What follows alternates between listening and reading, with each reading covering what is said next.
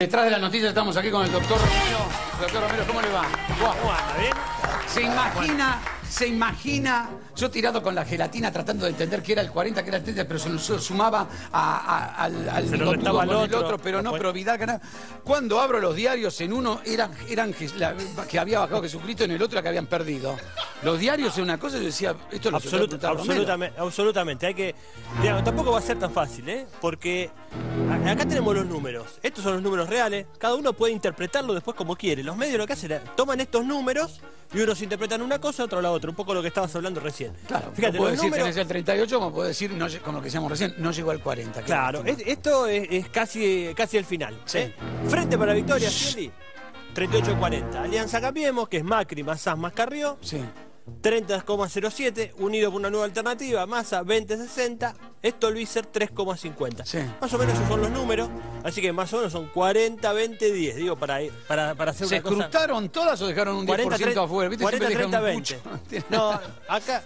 No, bueno, falta un 10, no importa. Ahora fíjate, por ejemplo, Tiempo Sí, hizo su Tiempo. interpretación. Dice, Scioli se puso las pasos Sí. y hace esa lectura que recién hacían, que es 36 Scioli, porque el- cierre eh, había una diferencia, después vemos que después cambió, fue a 38-40, casi a 39, 24 Macri y está individualmente Macri.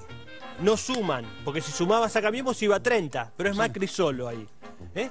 Scioli solo, Macri solo con dos y 12 Massa también lo toman solo, no lo toman como partido. Con lo cual llega al 20 Massa. Esta es la interpretación de tiempo argentino. La interpretación de. Página La página 12. Fíjate, el Frente victoria. cantó victoria y dice Scioli Zanini, 36%, favorita 11 puntos, Macri y Michetti, Carrió eh, con Sanz y Carrió superaba el 31, hace la misma lectura. Sí. ¿Qué dice La Nación? Vamos A ver la nación. ver. Scioli supera por solo. 5 puntos. Ya empezamos, ¿viste? ¿sí? A cambiemos en un lento escrutinio, dice que es lento y que suba y que solo por 5 puntos. Gente- Finalmente fueron hay 10, gente pero tan apurada por un escrutinio. Dice, obtenía el 36 y medio, dice 31 de masa, Máximo Kirchner derrotó a Santa Cruz, eso después lo vamos a ver. Se había escrutado el 16% en provincia al cierre de la edición de la Nación. Y por último, vamos a ver cómo lo cómo lo lee Clarín. PASO, Clarín que dice, Scioli ganó las pasos, Macri quedó cerca, en realidad Sonó 10 ba- puntos. Bastante bien suena este título, digo, podría haber sido peor. Si hubiera ganado la reta por 10 puntos, absolutamente. Si, si el otro día la reta hubiera ganado por 10 puntos, hubiera dicho que había aplastado a Lustó. Acá Macri quedó cerca, está a 10 puntos. Y Massa entró en la pelea, dice, le dedicó el triunfo a Kirchner. Dice, Macri hizo un discurso abierto, dice, llamó a los votantes a sumarse a su propuesta de cambio. Massa, a su turno, convocó a Macri y a Stolbizer a discutir planes y propuestas y ya empiezan ahí esa, esa idea que vimos a Marcelo y, a- y al doctor Castro de que se junten todos para finalmente derrotar. ¿Para eso qué necesitan? Acompañar a Massa hasta el abismo y pedirle que dé un paso al frente. Bueno, acá tenemos. ¿Escrutaron el 10% que quedó? Acá tenemos. Odio que dejen, odio cuando hacen eso. Se quejan por 10 boletas que tiraron por ahí y después no, no escrutan todo. ¿Viste? Bueno, acá tenemos los resultados oficiales. Digo, siempre veamos esto. Y los medios, leámoslos críticamente. Vemos uno, otro y tratemos de analizar nosotros lo que nos parece. Fíjate, estos son los números, ¿sí? Alianza Unión para Vivir Mejor en Santa Cruz, 47-82. Y Alianza Frente para la Victoria, 44-49. Acá hay dos candidatos, por eso el candidato más votado es Máximo, con 65.000 votos, el otro sacó 48.000. Pero 45% es un número importante. Estamos viendo qué es lo que decían los medios. Vamos, vamos a ver qué decían los diarios. ¿eh? Estuvimos viendo televisión. Vamos a ver qué decían los diarios. Primero esta. El cronista, Eddie Agostis, encuestas. Peronismo de oposición midieron a Máximo Kirchner en Santa Cruz. Esa es encuestadora como la que vos querés crear No, basta, basta. con tu, con tu Con amigo Iván, Iván. con Iván. Eh, no existen las encuestadoras. La intención, Las encuestadoras son para gente mediocre e indecisa. Fíjate lo que dice, dice, la intención de voto, el hijo mayor de Cristina, el fallecido presidente Néstor, fue Sí. medida sin especificar el cargo. Para cualquier cosa. Bueno, y reunidas las distintas Florista. Para reunidas, todas, promedio un 7%. O sea, en algunas tenía 6, en otras 8, pero no más que eso, ¿sí? 6, 7%, según el cronista. Clarín, más o menos lo mismo. Fíjate, el gobierno video máximo no levantan las encuestas, ¿eh? Eso es, es la campaña sistemática la que decía recién Hamilton. Todo el tiempo diciendo, no, es un desastre, no sabe nada. Yo diría Además, que las encuestas no levantan en pegarla. Dice, Qué ni siquiera, no supera el 35% de conocimiento, o sea, encima nadie sabe quién es, y tiene el 7% de promedio. Vamos a ver otra. Esta es 5 de octubre de 2014, si Máximo Kirchner fuera candidato, el 72% no lo votaría. Todo el tiempo nota diciendo que no, que no, que no, Nunca que es una barbaridad, que es... 72% no lo votaría, o sea, hubiera tenido el 28%. Como dijo Máximo, tanto por un, por un pibe que juega a la PlayStation, ¿no? La verdad que. Tuvo el que- 45, qué vos viste. quilombo que hay. Vos viste que era el caso parecido, decían, caso parecido a Vidal, pero Vidal tuvo el 30% de los votos, tuvo el 45 en la primera elección y en la primera vuelta, ¿no? Fíjate, en Santa Cruz, primero Gabriel. En Santa Cruz ya dice que Máximo se postulará. ¿Y qué dice? Con cuatro. Con cuatro encuestas. no una, cuatro Le, encuestas le realizadas sacaron forma- sangre, me dijeron también. que se realizaron de forma simultánea en la capital Santa ¡A la Cuatro, mierda! o sea, no tenga ninguna duda, porque hay cuatro. Uno venía por este lado, el otro venía por allá, todo simultáneo. Hay, en Santa- en la hay más encuestadores que gente, boludo, tremendo. Y vos sabés que el kirchnerismo no se resigna, no lo pongan a máximo. Eh, le gritaba, no, No, lo los pongan. acompañan los candidatos. Decía, no acompañe a su candidato y busca la mejor alternativa para Máximo, que en los números da una intención de voto que no supera el 7%. Sacó el 45. Es, es Y eso es un increíble. pibe que ya cumple 69 años. Es impresionante. Máximo largó con la campaña, ¿sí? Perfil. Máximo comenzó a caminar las calles de Santa Cruz en una suerte de lanzamiento de campaña. La estrategia sería una forma de relanzamiento del interior, porque las últimas encuestas difundidas lo ubican por debajo del 6%, menos todavía. Cada vez más abajo. ¿Qué? 6%. Va, va a llegar a mi porcentaje este pibe si sigue así. Fíjate, 30 de junio, máximo récord de imagen negativa también. Todo así, digamos, toda, todas las encuestas así. ¿Y, y qué sacó? Veíamos, ¿eh? Él, en esta, en esta otra. El 45% de los. Aplastemos al heredero. El se llama la película. 45%, absolutamente. Y otro tema que me parece interesante, a propósito de otra estrategia de TN, que fue, para no estar comentando cómo venían los resultados, que no le gustaban mucho, empezaron a decir, bueno, miren cómo están tardando, Ah, cómo sí, tarda porque- el voto en papel, es una barbaridad. Fue lo único que Fíjate, escuché, esto en una el primer mundo no pasa, esto no pasa en el primer mundo. Fíjate lo que se está discutiendo en otros países. Alemania, urnas electrónicas anticonstitucionales. ¿Qué dice de la urna electrónica? Dice, la Corte Suprema de Alemania dictaminó el pasado 3 de marzo que la utilización de urnas electrónicas en las últimas elecciones alemanas contradice principios elementales de la constitución de ese país. ¿Qué más dice? Dice, esta no- noticia podría ser una más en una larga serie de países y regiones que han reconocido el voto electrónico es una mala idea y deciden volver al voto en papel. ¿Eh? Alemania, creo, la. Corte Suprema de Alemania y lo que está pasando en algunos países y la estrategia de los Eso me muchachos. gusta, ¿Qué va que a me traigan eh? cosas del mundo porque si no vivimos en un agujero. Señores, con nosotros, Mr. Romero, doctor Romero, detrás de las noticias.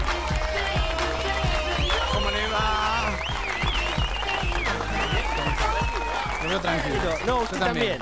Digo, porque está un poco. está- clima. hay días que está un ¿Se da poco. cuenta? No, pero de, de golpe se pone fría la ciudad, veo. de golpe hace calor. Lo veo un poco preocupado. Viento norte, ¿no? A veces No, es ese problema. Por favor, avíseme No, usted- cualquier cosa. Usted tranquilo. Estamos con ¿eh? Iván con el bolsito en la mano, estamos preparados. Cualquier cosa que pase, avíseme. Pero usted tenía que haber armado, le dije, ármese la consultora. No se la quiere Sí, armar y aquel, después viste, me bueno, empezó a meter los amigos. va a tener el bolso vacío finalmente.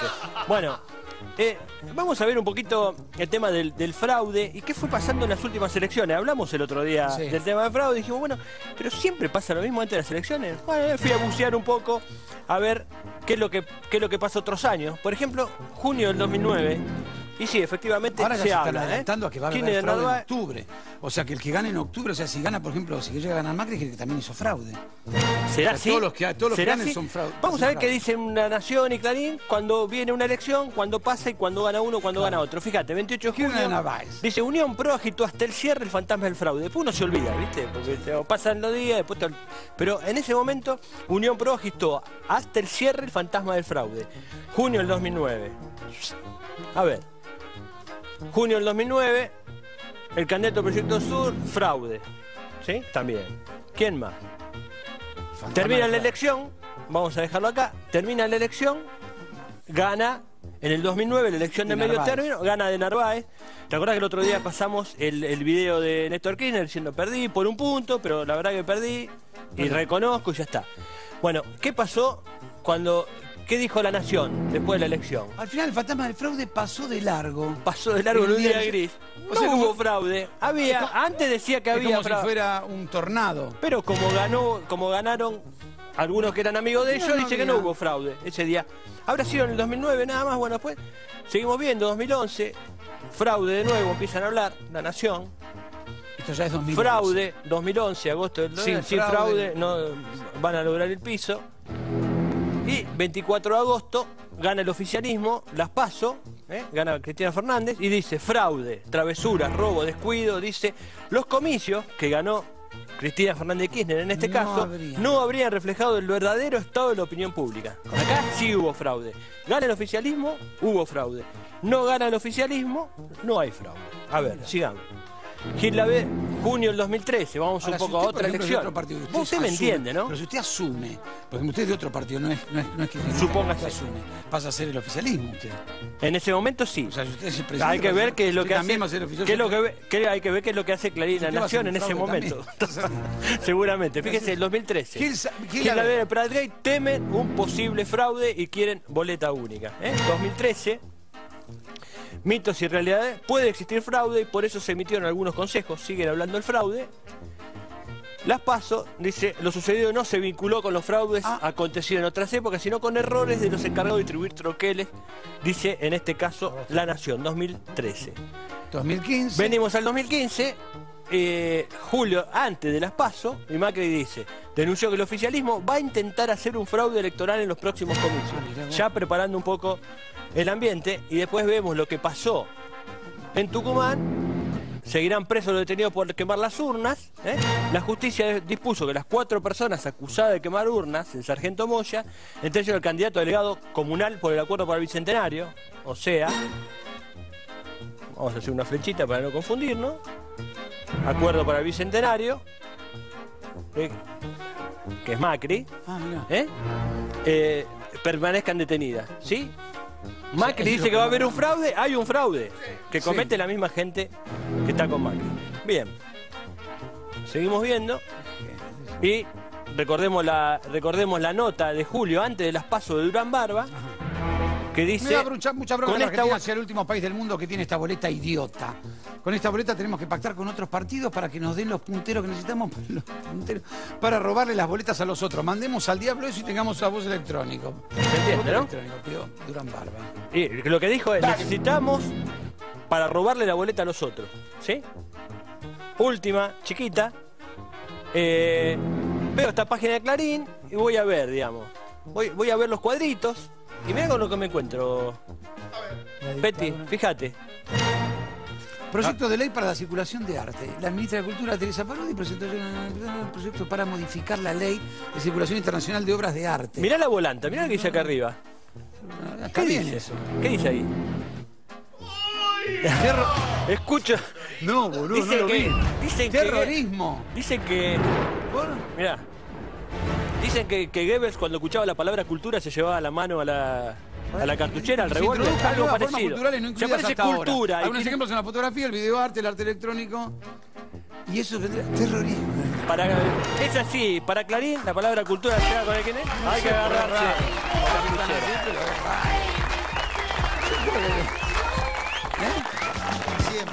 Señoras, señores, por si recién acaban de sintonizar, están viendo Duro de Domar. A esta hora yo tengo que recordar a la gente, porque toda la medicación que toma el argentino medio empieza a pegar y empiezan a decir, qué bueno, House of Domar.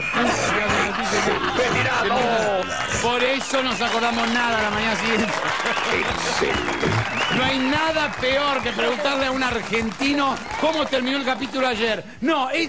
mm. Espectacular, Señores, es una espectacular. sección que a mí siempre me gustó y que yo lo pedí especialmente. Yo dije, por favor, ármenlo de nuevo con carne picada y tráiganlo.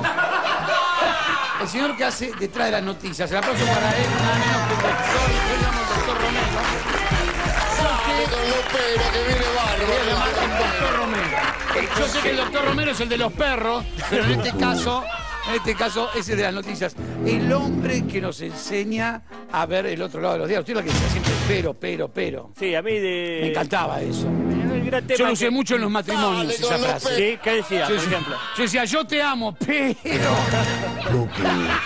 Escúcheme.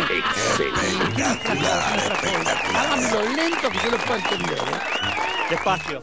Despacito. Bueno, eh, hubo apertura de sesiones Hola, en el Congreso de la Nación. ¿sí? Habló el presidente, hubo una movilización importante, ¿no? Cientos de miles de personas en la calle y un anuncio Fueron todos, la Importante. oposición, estaban todos. Bueno, todo el mundo. Ah, mirá. ¿A la calle? No, a la- al Congreso Sí. no, hubo algunas algunos, algunos no pocos. pudieron. Lilita, viste que no pudo porque tenía miedo No que la pudo porque venía un apocalipsis. autogolpe. No, venía el autogolpe y tenía miedo que la maten porque venía un Ah, autogolpe. venía el autogolpe. Iban a venir chinos, la cámpora, todo, digamos, armado y bueno, No, pa- no pasó. de eso. No pasó. Parece que no pasó. Que era no un- pasó. hubiese sido un espectáculo. Lo cierto es que hubo un anuncio, sí, importante, que fue la renacionalización de ferrocarriles argentinos. ¿sí? No Aquello que era... No era, eh, Iván, no eran argentinos, eran argentinos los ferrocarriles o no, en la época de Perón. Pero en la época de Perón eran argentinos. Ahora se institucionaliza. Hablaron sí. inglés, después fueron, Ah, fueron argentinos, los Sí. milicos lo empezaron a dejar un poquito de lado, hasta que vino Better Call Saul y lo privatizó. Voló todo. No, no, no cerró voló el todo. tren, se convirtió en un, se convirtió en un micro. De golpe Bueno. había micro para todos. la- Quiero un tren. No, sí. Vamos, vamos a A ver cómo, cómo lo mostraron los diarios, a ver eh, cómo mostraron la noticia de lo que fueron. A ver, página 12. Página a todo tren, respalda una gigantesca movilización que rebasó largamente la Plaza Congreso. Cristina pasó revista a los logros, claro, que hace un análisis de la gestión, cuenta lo que, lo que hizo en el Obviamente, año, yo soy presidente, no le voy a contar todos los peos. Yo me, yo me- me cuento todo lo lindo. Bien, esta, esta fue la tapa de página 2. Bien. Bueno, la tapa de ámbito. Ámbito No te, voy a mostrar, no te voy a mostrar todos los diarios, te voy a mostrar algunos Cristina más pasó o los- menos. por los trenes, pasó todos los trenes del Estado y embistió contra la Corte, hice discurso de un tres pequeño chiste político. ¿no? Embistió. Embistió, sí, eso. Los trenes, un embistió. Muy bien, muy bien. Vamos a ver. Clarín, para Cristina, hay jueces fuera de la Constitución. ¿Eso fue lo único que agarramos? ¿eh? La oposición dijo le faltó respeto a la memoria anima, militantes y funcionarios, los K coparon la plaza, silbatina, vudú. La última función de Cristilandia. Lo de los trenes, nada, cero. Nada de los trenes, Clarín, nada de no- la gestión. Para Clarín, nada. A ver, la Nación, durísimo ataque a la presidenta Poder Judicial y a Nisman, la campaña es ella, diatriba y crepúsculo, nada. La nacionalización de los ferrocarriles, nada. Nada, de nada, Yo dije, nada. bueno, tal vez no está en la tapa. adentro debe estar, importante, uno abre y encuentra. Viste Bueno, que a pero, la, pasa pero la eso. Nación tiene buenas secciones de comida. A mí me gustan todas las que son de ollas. Las de Gourmet, esas son, Esas cosas son geniales. Son sí. todas comidas que no puedo hacer, pero las co- colecciono. Son muy buenas. Acá cocinan otras cosas, en realidad. En estas páginas La presidenta acusó a los jueces. acusó a los jueces, violan las leyes, dice. Bueno, Le le hablo de la Constitución. A ver, ¿qué más? Dice ataque a Lorenzetti. Cristina redobló la apuesta. Yo, ¿Vos encontrás lo de los tres, Peti? Traje un... Bueno, traje una moneda, pero traje también... La moneda de Jala, sí. no, esta acordás moneda de me una. pertenece. Pero a todo, partir de este momento me todo lo que se cae es mío. Me traje una lupa para ver, por la duda, a ver, postal, a ver, está ahí. Cristina redobló. Tiene que estar, No está. por lo menos Vos de los decís que está la- nacionalizó todo lo- los trenes, Todo lo que dijo que- lo, de la AMIA fue muy que emocionante. es poco, pero- estuvo muy bien. A ver, a ver acá, otra página, vamos a ver, el gobierno Esta es una un nación. discurso, abandonó. Qué raro, ¿no? Los gremios rescatan las paritarias. Bueno, pero ojo que la, la gente que escribe en La Nación son gente ya muy grande, por ahí se olvida. Hay gente que se empiezan a escribir y se van durmiendo sobre la computadora. Insufrible, no es fácil. pero- Claro. Aparte, la letra tan chiquita. La cara de este señor fue, fue muy importante, la cara de. Sí. Todo el tiempo Estaba- miraba como diciendo, ¿Qué- A mí, ¡eu! Nos están hablando Decía, a mí. ¡eu! Cucu. Incomodidad judicial por las duras acusaciones, Nisma la tampoco acá, la Bueno, razón no se no está decís que no está, a ver, pacto con Irán no hace escuchar. Bueno, Nada, tampoco acá, che. nada. A ver acá. Claro, ¿no? A ver, Tenemos- digo, hay varias páginas igual en algún lugar, Sí. puede chequeado, eh, mensaje de referencia, una voz dogmática, los últimos cartuchos mojados. Los Ya, últimos cartuchos mojados. mojados, ya está, sí. sí. Bueno, está bien. Listo. A ver, empresarios entre el alivio y la desazón. Por la falta de anuncios. Los empresarios querían más el anuncios. poder. Chicos, los empresarios en este país no les, no les faltan. Pero yo digo, yo siempre digo, para, no, no. Yo tengo una teoría, siempre digo, en- entre ganar 100, poner, entre ganar 100 millones de dólares, ¿no es lo mismo ganar 98? ¿Cuánto que, ¿Qué es lo que pasa con los empresarios en este país? Mejor que yo no sea presidente, pues se terminó todo. Todos van a ganar lo mismo los empresarios. 50 palos para cada uno, punto. Bueno, eh, pasa? acá lo encontré, ¿eh? Los Ah, trenes sh- serán totalmente estatales. Bueno, acá está, ¿eh? Ah, lo encontré, está. Bueno, está está bien, chiquito, escondido. Antes no, ¿eh? Cuando estaba Better Call Saul, estaban los milicos, digamos, toda las- la información era importante, como por ejemplo cuando se privatizaron, los, ¿eh? firmaron la privatización de los ramales ferroviarios. Ah, ¿eh? mira, vos ahí Ahí sí era, tapa, era importante. Prometió menos 89, preferenciación. sí. Ahí sí, siempre eso era, eso era importante. Septiembre del 89, ahí se anuncia Y ahí Yo que decía, ya en el 89 Maradona viajó a Ezeiza. ¿Viste? Ya en el 89 Siguió. viajaba a Ezeiza, era increíble. Con la rubia número 3433. ¿Cómo no se va a hacer amigo de Granado? Dice, desde mañana Qué 13 increíble. provincias sin trenes. Mañana a tres. Decía, bueno, ¿no? Ramal que para, ramal que cierra, y los trenes terminaron más o menos ¿Así terminó? Esto era la, Esto era esta antes, la red ferroviaria, y así quedó cuando se fue Better Call Saul en el 99. Quedó absolutamente desguazada. Ahora viene la tarea de reconstrucción. Peti, igual, a Pero vos... dígame una cosita, usted, ¿Qué? yo digo, porque yo lo, yo lo he escuchado, lo he visto por televisión, pero no, no hay alguna cosa un poquito más así, más, eh, digamos que es lo más importante para la gente. Usted sabe que la fuerza que mueve el universo es el chisme. Tengo, tengo para usted, le traje Algo que la Peti. gente diga, ¿por qué no aplica esto a todo el ámbito de la vida? Siempre traigo, lo que pasa es que es larga la tira acá de cosas, siempre traigo. Ajá. Tengo lo que usted me pida. Ajá. ¿Usted quiere algo, algo que un sea poquito más, o sea, o de espectáculos, Le voy a una traer- un poquito más. Voy a traer algo que está un poco relacionado con la política internacional y todo, pero bueno. ¿eh? Mi familia trajo a la Argentina el pan integral y el pan negro.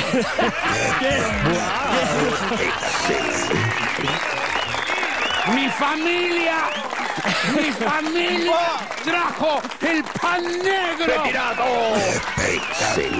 ¿Vos lo sabías? No, Evelyn Evelyn Vamos, tenemos, estamos al- a las puertas de un conflicto internacional. ¿Pero Porque, qué pasa? ¿Vino en el Graf Porque en realidad. ¿Dónde? Son alemanes. Son... ¿No será pariente de Sacán? No sé, claro, es acá. El pan negro integral lo Mi trajo familia Sacán. trajo a la Argentina el pan integral. O sea, Acá yo creo que, acá creo que estamos a, la- a las puertas de un conflicto internacional. Claro, sí. Eso lo Bueno, una sutileza, una sutileza, Betty para vos, también de revista pronto esta semana, ¿eh? En la casa de Emilio Dizzi en Carlos Paz, Paso piruetas en un árbol, Lizzy agarró el tronco. se agarró de ¿Cómo va a decir eso? Una sutileza. Que vuelva Olmedo y Porcel, por favor. al lado de estos regatos salvajes es Hamlet, ¿no? De. La cosa es una sutileza Lizzy agarró el tronco. Lo que la le hicieron hacer a la pobre Liz, le hicieron subir un árbol, le dijeron subite, vamos a hacer una foto. ¿Por qué una mujer hace eso? Le agradezco muchísimo. La verdad, gracias. Bueno, encantado. Pero, con usted, pero, Gracias por pero, venir. Javier, querido. Ah, rete al día, ¿todo bien? ¿Estás? Sí, seguro, ¿todo bien? Superó el Bueno, último me, lo tuyo. me alegro, me alegro mucho. Fíjate, hoy vemos el Día de la Nación y habla, dice el FMI, una noticia que, que suelen repetir. El FMI insistió en su pronóstico de recesión para el país y pidió reformas estructurales. Dice la ex integrante de Misiones del Fondo de nuestro país, Teresa Termenesian y Collins, advirtieron serias vulnera- vulnerabilidades en la economía argentina, la necesidad de hacer cambios de fondo si se pretende revertir el decrecimiento y lograr que alguien invierta. ¿eh? El fondo duro, duro con, con la Argentina. Creo que te entiendo, Javier. Fíjate, eso 2 de junio, hace poquito nada más, el 30 de abril. Fíjate lo que decía, también siempre le da mucho despliegue y abre en los diarios con esto. Fíjate, el Fondo Monetario le recomienda al país ajuste fiscal y devaluación. Ya, todo el tiempo dicen esto. El fondo prevé una recesión del 0,3% para este año y un crecimiento de apenas 0,1% en 2016. Yo vi esta nota y digo, ¿no decía que iba a ir peor el fondo hace unos meses? ¿O me confundo? Fui a buscar atrás. Viste que siempre tengo un archivo de un montón de diarios ahí Ah, para mí guardado. tenés razón vos. eh. Absolutamente. Entonces, fui a enero y, y encontré, el FMI prevé que la Argentina enfrente do- 2015 con recesión, inflación y sin crédito. Un poquito antes. ¿Qué decía el FMI? Decía, Departamento del Hemisferio Occidental estimó una caída del PBI del 1,3 para este año. No es nada. Fíjate, enero, cuatro meses después dice que el fondo prevé una recesión del 0,3. Del 1,3 pasó al 0,3. Me O sea, parece poca prácticamente cosa las nada. dos, eh. Muy poco. El y el. Sin embargo, en octubre, dos meses antes también, siempre le da mucho despliegue, y decía el FMI le respondió a Kichilov, ratificó su diagnóstico de No, ahí recesión me calentaste. y lamentó... Es la única persona, yo soy K de Kicillof. Yo jugué de compañerito de la primaria, jugué en su casa, es hijo de una gran familia, es mi hermano, Axel es buena persona, se lo digo a toda la Argentina. Yo soy K de Kicillof, jugamos con muñequitos, vendimos revistas, lo banco a muerte, tiene a su mamá Nora, su hermano Nicolás, seguí, seguí con la sección. Es genial, no es fácil, ¿eh? No es fácil. Fíjate, en ese momento decía en octubre. Si el FMI predijo una caída del crecimiento del 1,7% para este año y 1,5% para el próximo en un contexto recesivo. ¿Ves? Acá decía que iba a ser del 1,5% y se enoja y putea a Kichirov, el Fondo Monetario. Dice, no vamos no, a ir al no, Javier, 1,5%. No es así la cosa. Cuando pasa, mirá, pasan dos meses y ya era 1,3. Bajó del 1,5 al 1,3. Y ahora pasaron después tres meses y el 0,1. Ahora, digamos, así va el Fondo Monetario. Fíjate, fui al archivo, me fui a fijar qué venía diciendo el Fondo, el Fondo Monetario sobre la Argentina antes, cuando nos iba, cuando nos iba tan bien, qué es lo que decía el Fondo Monetario. Por ejemplo, en 2000, junio del 2000. El Fondo Monetario apoyó el ajuste de la Rúa, ¿sí? Ahora que está, que está Kichirov, dice que Argentina... No digas Kicillof porque me vuelvo loco. Yo soy K K, de Kichi. Te digo No conozco a Cristina, Axel es mi amigo de la infancia, lo banco a muerte. Es el primer comunista con dos inodoros en su casa. Bueno, perdón. Fíjate, optimista informe del Fondo Monetario. Fíjate lo que dice ahora, ¿no? Prevé que la Argentina con recesión, sin inflación. Optimista, 13 de junio del 2000. Estábamos a punto de caernos, Totalmente. de caernos en el 2000, ¿te acordás? El 2000, 2001. Vos estabas en España, me parece, ¿no? ¿Estabas acá? 2000, 2001, estabas allá. Acá en la Argentina se caía, se caía a pedazos. Sin embargo, el Fondo Monetario... Manejar el suspense, porque Decía- estamos en un programa de televisión, manejame el suspense. Decía, optimista informe del Fondo Monetario sobre la Argentina. ¿eh? Decía que íbamos a crecer, que se iba a recuperar la, la economía. ¿eh? Junio del 2000. ¿Qué más? Vamos a explicarnos. Dale, ponelo. Dale, ponelo. Fíjate. Fíjate, Inglaterra planea boicotear Rusia 2018, dice Perfil. ¿eh? Luego la reelección de Blatter, el presidente de la Federación Inglesa de Fútbol, quiere invitar a otros países a no jugar la Copa del Mundo. Cuando vas a la nota, fíjate lo que dice. Dice, si bien Dyke habla de una oposición al Mundial, luego aclaró que no tiene intención de que su país se baje de Rusia en el 2018. Te voy a decir una cosa. Detrás de las noticias es una sección en donde aprendemos. Si hay algo que hemos aprendido durante todo este tiempo, es realmente leer los diarios. Doctor, salga de ahí, por favor, Romero. El aplauso para él que está aquí con nosotros. Gracias por venir. ¿Cómo anda? Bueno, ¿qué me ha traído hoy? Lo pedís, lo tenés, Peti. Fíjate. Vamos, vamos a ver. eh, eh, en La Nación hay, hay un sitio, se llama Chequeo, o sea, ha institucionalizado o algo así el tema de los pelos. Tema de los pelos. Eh, ya está como institucionalizado. Acá lo que hizo en este caso, bueno, una página entera de la Nación dice un mensaje con falsas referencias al empleo industrial, el inicio de clases y a la deuda y tiene que ver con el discurso del otro día de la presidenta Cristina Fernández de Kirchner. Bueno, vamos a ver qué dice. A ver.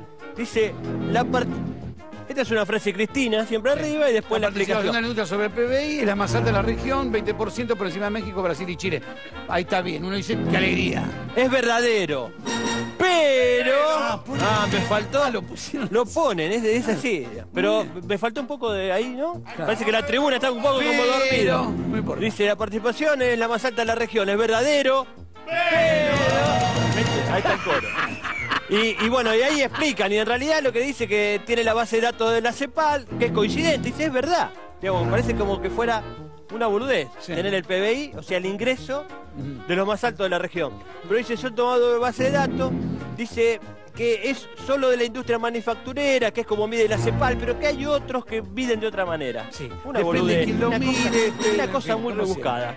En fin, a ver, otra, dice, de 30, lo que Parece un chiste, parece un chiste. Esto, esto de verdad. es una cosa insólita. De pero es que 32 sí, ¿eh? países, incluyendo los del G20, obviamente la Argentina tuvo el mejor desempeño en la reducción del desempleo juvenil. Es verdadero, Ah, es pero... Pero la madre. Es una cosa por La tremenda. puta madre. ¿Cómo puede Es ser? una cosa ¿Pero es verdadero o qué? Es verdadero. ¿Y entonces por qué hay un pero? Que defendió las políticas laborales, que de 32 países analizados, incluso el G20. G20 son los 20 países más importantes del mundo, lo, lo de más ingreso, etcétera. Incluido eso, Argentina tuvo mejor desempeño en reducción del desempleo juvenil. Pero dice, al que se hizo referencia, dice, sin embargo, en menor medida que el desempleo general. Es verdad, pero tuvo una cosa increíble, ¿eh? muy rebuscado. Flaco, pero, estamos en el planeta fin. Tierra, nada está demasiado bien. ¿Qué más? Fíjate, otro. Me parece un chiste. La estatización de IPF revirtió la caída en la producción de petróleo y gas. Va- ¿Es verdadero? Es verdadero. Pero. Es verdadero, Petty. Dice. La frase es verdadera respecto a la empresa estatal. Dice. Pero si tomamos en cuenta el resto de las empresas tuvieron un desempeño que no fue tan bueno como el IPF. Una cosa insólita, pero lo rebuscaron y lo pusieron. Y es el gran. Si yo fuera gobierno empiezo a coimear a esta gente para que haga. Esto no sé, yo no sé cómo le pongo la guida y digo, flaco, basta, no me ponga más el Por- pelo. por favor. Fíjate de joder. Fíjate, Te doy un doble pliego en color adentro, no me eché la pelota. No, pero piden un poquito más que un doble pliego. Ah. ¿quieren más? Sí, quieren un poquito, un poco más que eso. Cristina el dijo que el país se, se, se endeudó. Pero no habló del default. Dice que se- de- un tema importante, porque digamos, hasta ahora en la historia de la Argentina estuvo asignada por el endeudamiento. Siempre pedíamos guita, el FMI, siempre guita y siempre debíamos cada vez más, cada vez más. Argentina quiere decir del griego país que se endeuda pero no se hunde. Por- exactamente, frase- es una frase increíble, pero bueno, así es. A ver, sorpresa entre operadores por la estatización de trenes, algo que hablábamos ayer, que no había, prácticamente no había sido anunciado ni por Clarín ni por La Nación, y ahora dice que hubo sorpresa entre operadores por la estatización de los trenes. ¿Qué dice la nota? Fíjate. A medias, los trenes nuevos son muy bien recibidos por los usuarios. Pero las frecuencias no mejoraron. Es la gata flora, ¿no? No, no hay cosa que. Ahora que no hay cosa que frecuencia venga bien. también, no eché las pelotas. Vamos. Por lo menos cuando, por lo menos cuando te sentás vas cómodo. aire acondicionado, etcétera, qué sé yo. bueno. bueno, sí. En fin. Bueno, vamos a ver un poquito una, una comparación, Petty, sobre lo que fue la marcha de los paraguas, cómo la presentó al otro día.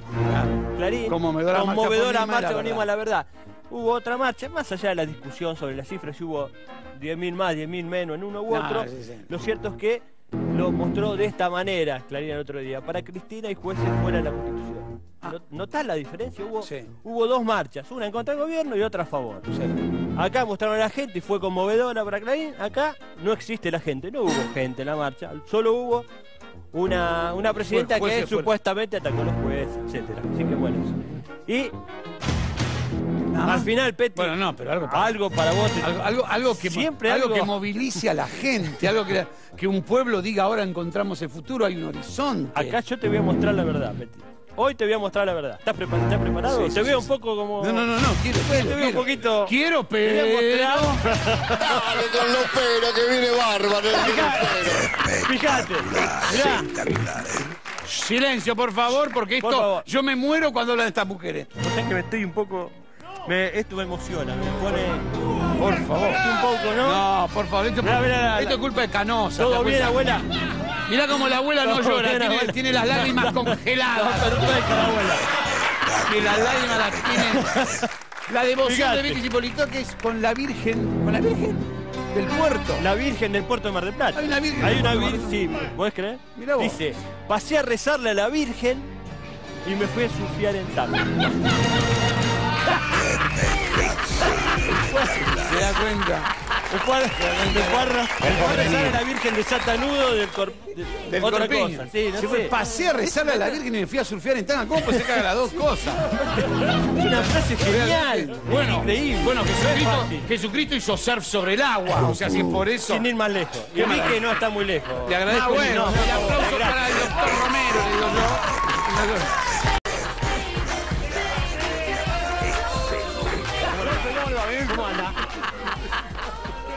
Salud, ¿eh? Bien. ¿Cómo anda? Bien, todo bien.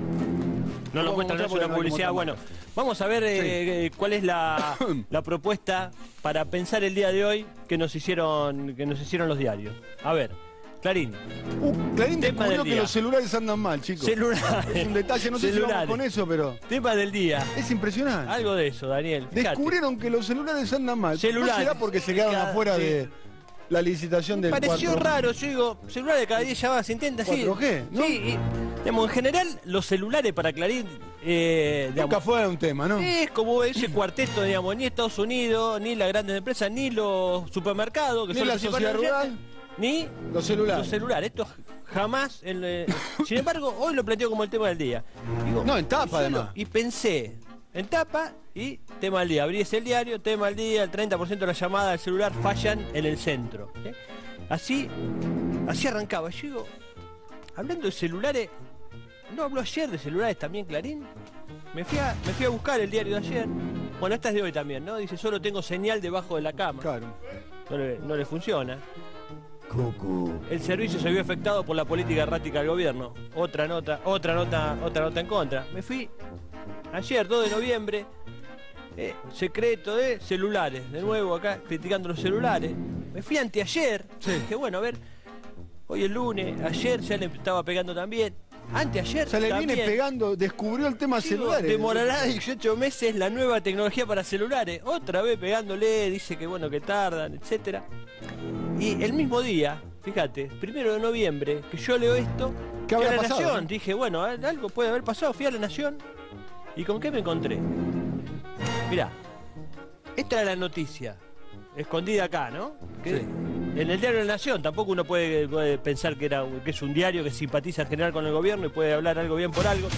Pero dice, el gobierno recaudó más de 2.200 millones de dólares por la subasta de las frecuencias para telefonía 4G. Subasta a la cual se presentó el grupo Clarín. ¿no? Esto es lo que no te enterás si... el- si Compró los pliegos, pero después no se presentó. Exactamente, digo, permitirá ampliar el espectro disponible para dar un mejor servicio de telefonía de alta velocidad.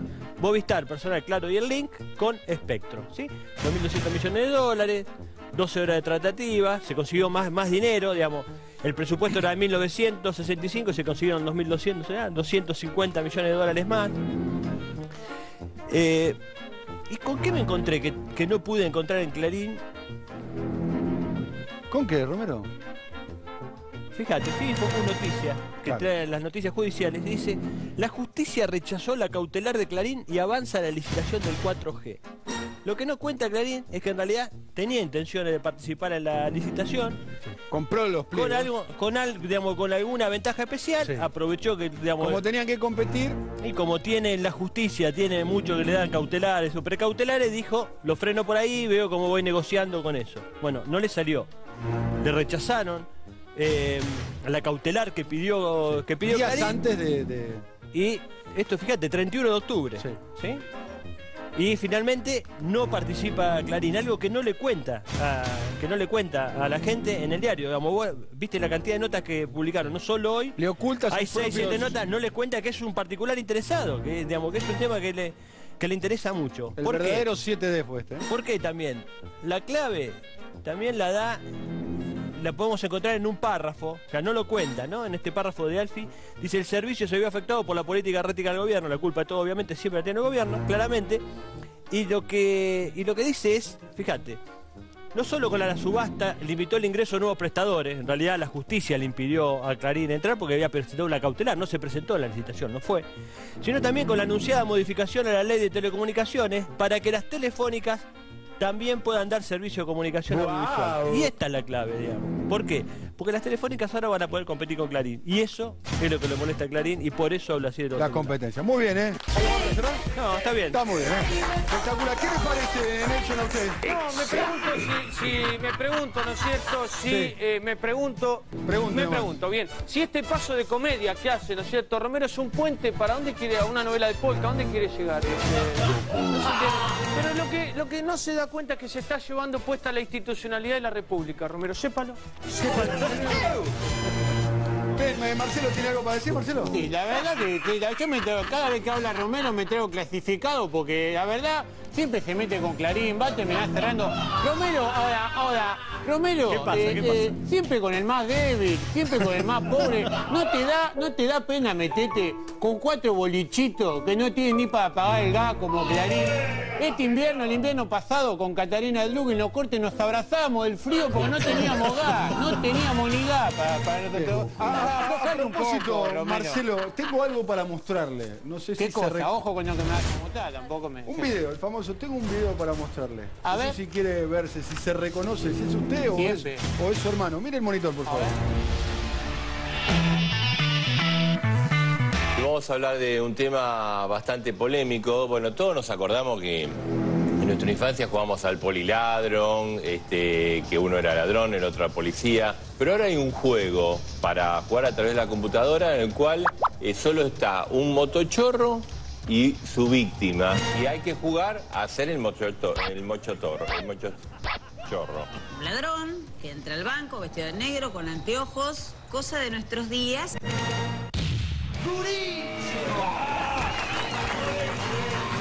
Vamos a poner la vuelta, por favor. Vamos a poner la vuelta, no sea malo. Qué cruel que. Toñetti, eh, a ver, Toñetti, Sí. es cierto, cuando éramos chicos jugábamos al poliladron. ¿Y a qué? Al poliladron, y, y la verdad estábamos con la chica. Ahora con estos muñecos nuevos que hay del chotomorro, del No. mono, del chorro, del chorro, del chorro, del, del chorro, del chorro, de todos estos muñecos que hay del chorro, porque el gobierno va, avanza por todo. Y atención que van a agregar un muñeco. ¿Cuál? A lo precio cuidado, ¿eh? Atención. Sí, el muñeco de vudú.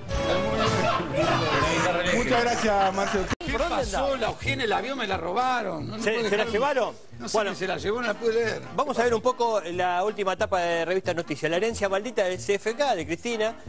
Lacras mediáticas, ese es el título. Duro, viene acá, al cuello, dice en la cuenta regresiva electoral, el gobierno terminó de cerrar el cepo a la libertad informativa. Hasta ahora había un cepo, por si no te enteraste, nadie puede decir nada. ¿eh? No hay libertad informativa en la Argentina. Y lo que hacen es utilizan la edición para atacar, sobre todo a todos aquellos que no le reíen de pleitesía, o a FOTV, que o a Mañeto, o más o menos como Sabatella, a quien tratan de mentiroso, o como Roberto Navarro, a quien llama el nuevo periodismo mercenario. Para que no entiendan, te lo hago sencillo. Hasta el 2003, la pauta publicitaria, o sea, el dinero que el Estado gastaba para contar las acciones de gobierno, se repartía entre 10 tipos. Sobre todo Mañeto, La Nación, Perfil, etc.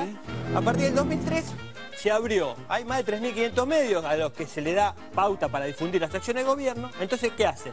No solo consideran que es propia y que no se la tiene que dar a nadie, Mañeto, Perfil, etc. Sino que aquellos que reciben eh, pauta y hablan a favor del gobierno, ellos hablan en contra. Pero si hablan a favor, en realidad lo que pasa son mercenarios. ¿eh? Los atacan, dicen eso, que son que se la afanan, que es el periodismo mercenario. Lo hacen con Navarro, lo hicieron con Víctor Hugo. Fíjate lo que dijo Navarro frente a esta acusación de noticias. Mirá este tape. La revista Noticias hizo una tapa contra el grupo y contra mí. Y claro, no tiene nada que decir porque yo soy un tipo, viste, están enojados porque apareció un morocho, un hijo de laburante que aparece acá, entonces le quieren pegar, pero y tengo una vida común y corriente, no, no hay nada para encontrarme. Entonces siempre lo mismo, que tienen como pauta publicitaria. Ellos, la revista Noticias, llegó a la Corte Suprema para exigir y decir que es constitucional la pauta publicitaria. Nosotros, que tenemos una productora que está a nombre mío, ¿por qué voy a decir una SA? Si está a nombre mío, durante muchos años, dicen que no tenemos que tener pauta. ¿Eh? O entre seis programas que tenemos, uno conduzco yo y otros otros cinco periodistas, tenemos 300 lucas por mes, pero ellos te ponen dos años juntos para que vos veas mucha plata, ¿sí? Y te acusan. Y te pegan siempre con lo mismo y te hacen operetas, tipos como Fontevecchia, que son de lo peor del periodismo nacional. Son tipos que le han hecho daño al país. Para terminar, mostremos una de las miles de tapas de noticias, ¿sí? 1999, se viene un país mejor. Dualde y de la Rúa, esos eran los dos candidatos. Y Noticias decía que eran tan buenos los dos candidatos. Y no hablemos de la tapa de Spinetta, ¿se acuerdan? No la vamos a mostrar, pero él hizo eso. Él la mostró. ¿eh? Él lo mostró a Spinetta enfermo. Él hizo cosas terribles. Ese tipo es el que nos está atacando. Bueno, escuchá- escuchaste lo que, lo que explicaba. No solo eso. Fíjate, me, me- me resulta también interesante. Cuenta regresiva electoral. Cepo a la libertad informativa. Cepo a la libertad informativa. Vamos a ver algunas de las tapas. Él mostraba algunas, las que, está- las que estuvieron siempre a favor de la Rúa, a favor de Dualde, etcétera, como también están a favor de Macri, claramente, digamos, y en contra del gobierno nacional. A lo cual tienen absoluto derecho. Pero fíjate el tipo de tapas, ¿no? Que, ellos dicen que es un cepo informativo. Por ejemplo, Máximo Esposado, ¿eh? la foto más temida de Cristina. Mira vos, esa fue. Fíjate, el goce de Cristina. Súper bien misóginos, ¿no? Siempre estigmatizantes, discriminando. Absolutamente. Tratar de boludo. Alejo, Fíjate esta foto. ¿eh? Esto es noticias que al mismo tiempo que hace esto, dice que hay cepo a la libertad informativa. Este es el tipo de etapa que hace generalmente noticias y sobre todo desde sobre todo de la gestión de, como director de Eddie Zunino, de mi amigo personal Eddie Zunino. Fíjate lo que pasó con el director de noticias cuando hicieron notas de este tipo, como la que atacan ahora a, a Roberto Navarro, cuando tocó a Víctor Hugo Morales. Fíjate, escuchá bien la conversación sobre qué escribió noticias y, y qué es lo que decía Víctor Hugo al respecto. Fíjate, esta es una conversación entre Víctor Hugo y el director de noticias. Mira.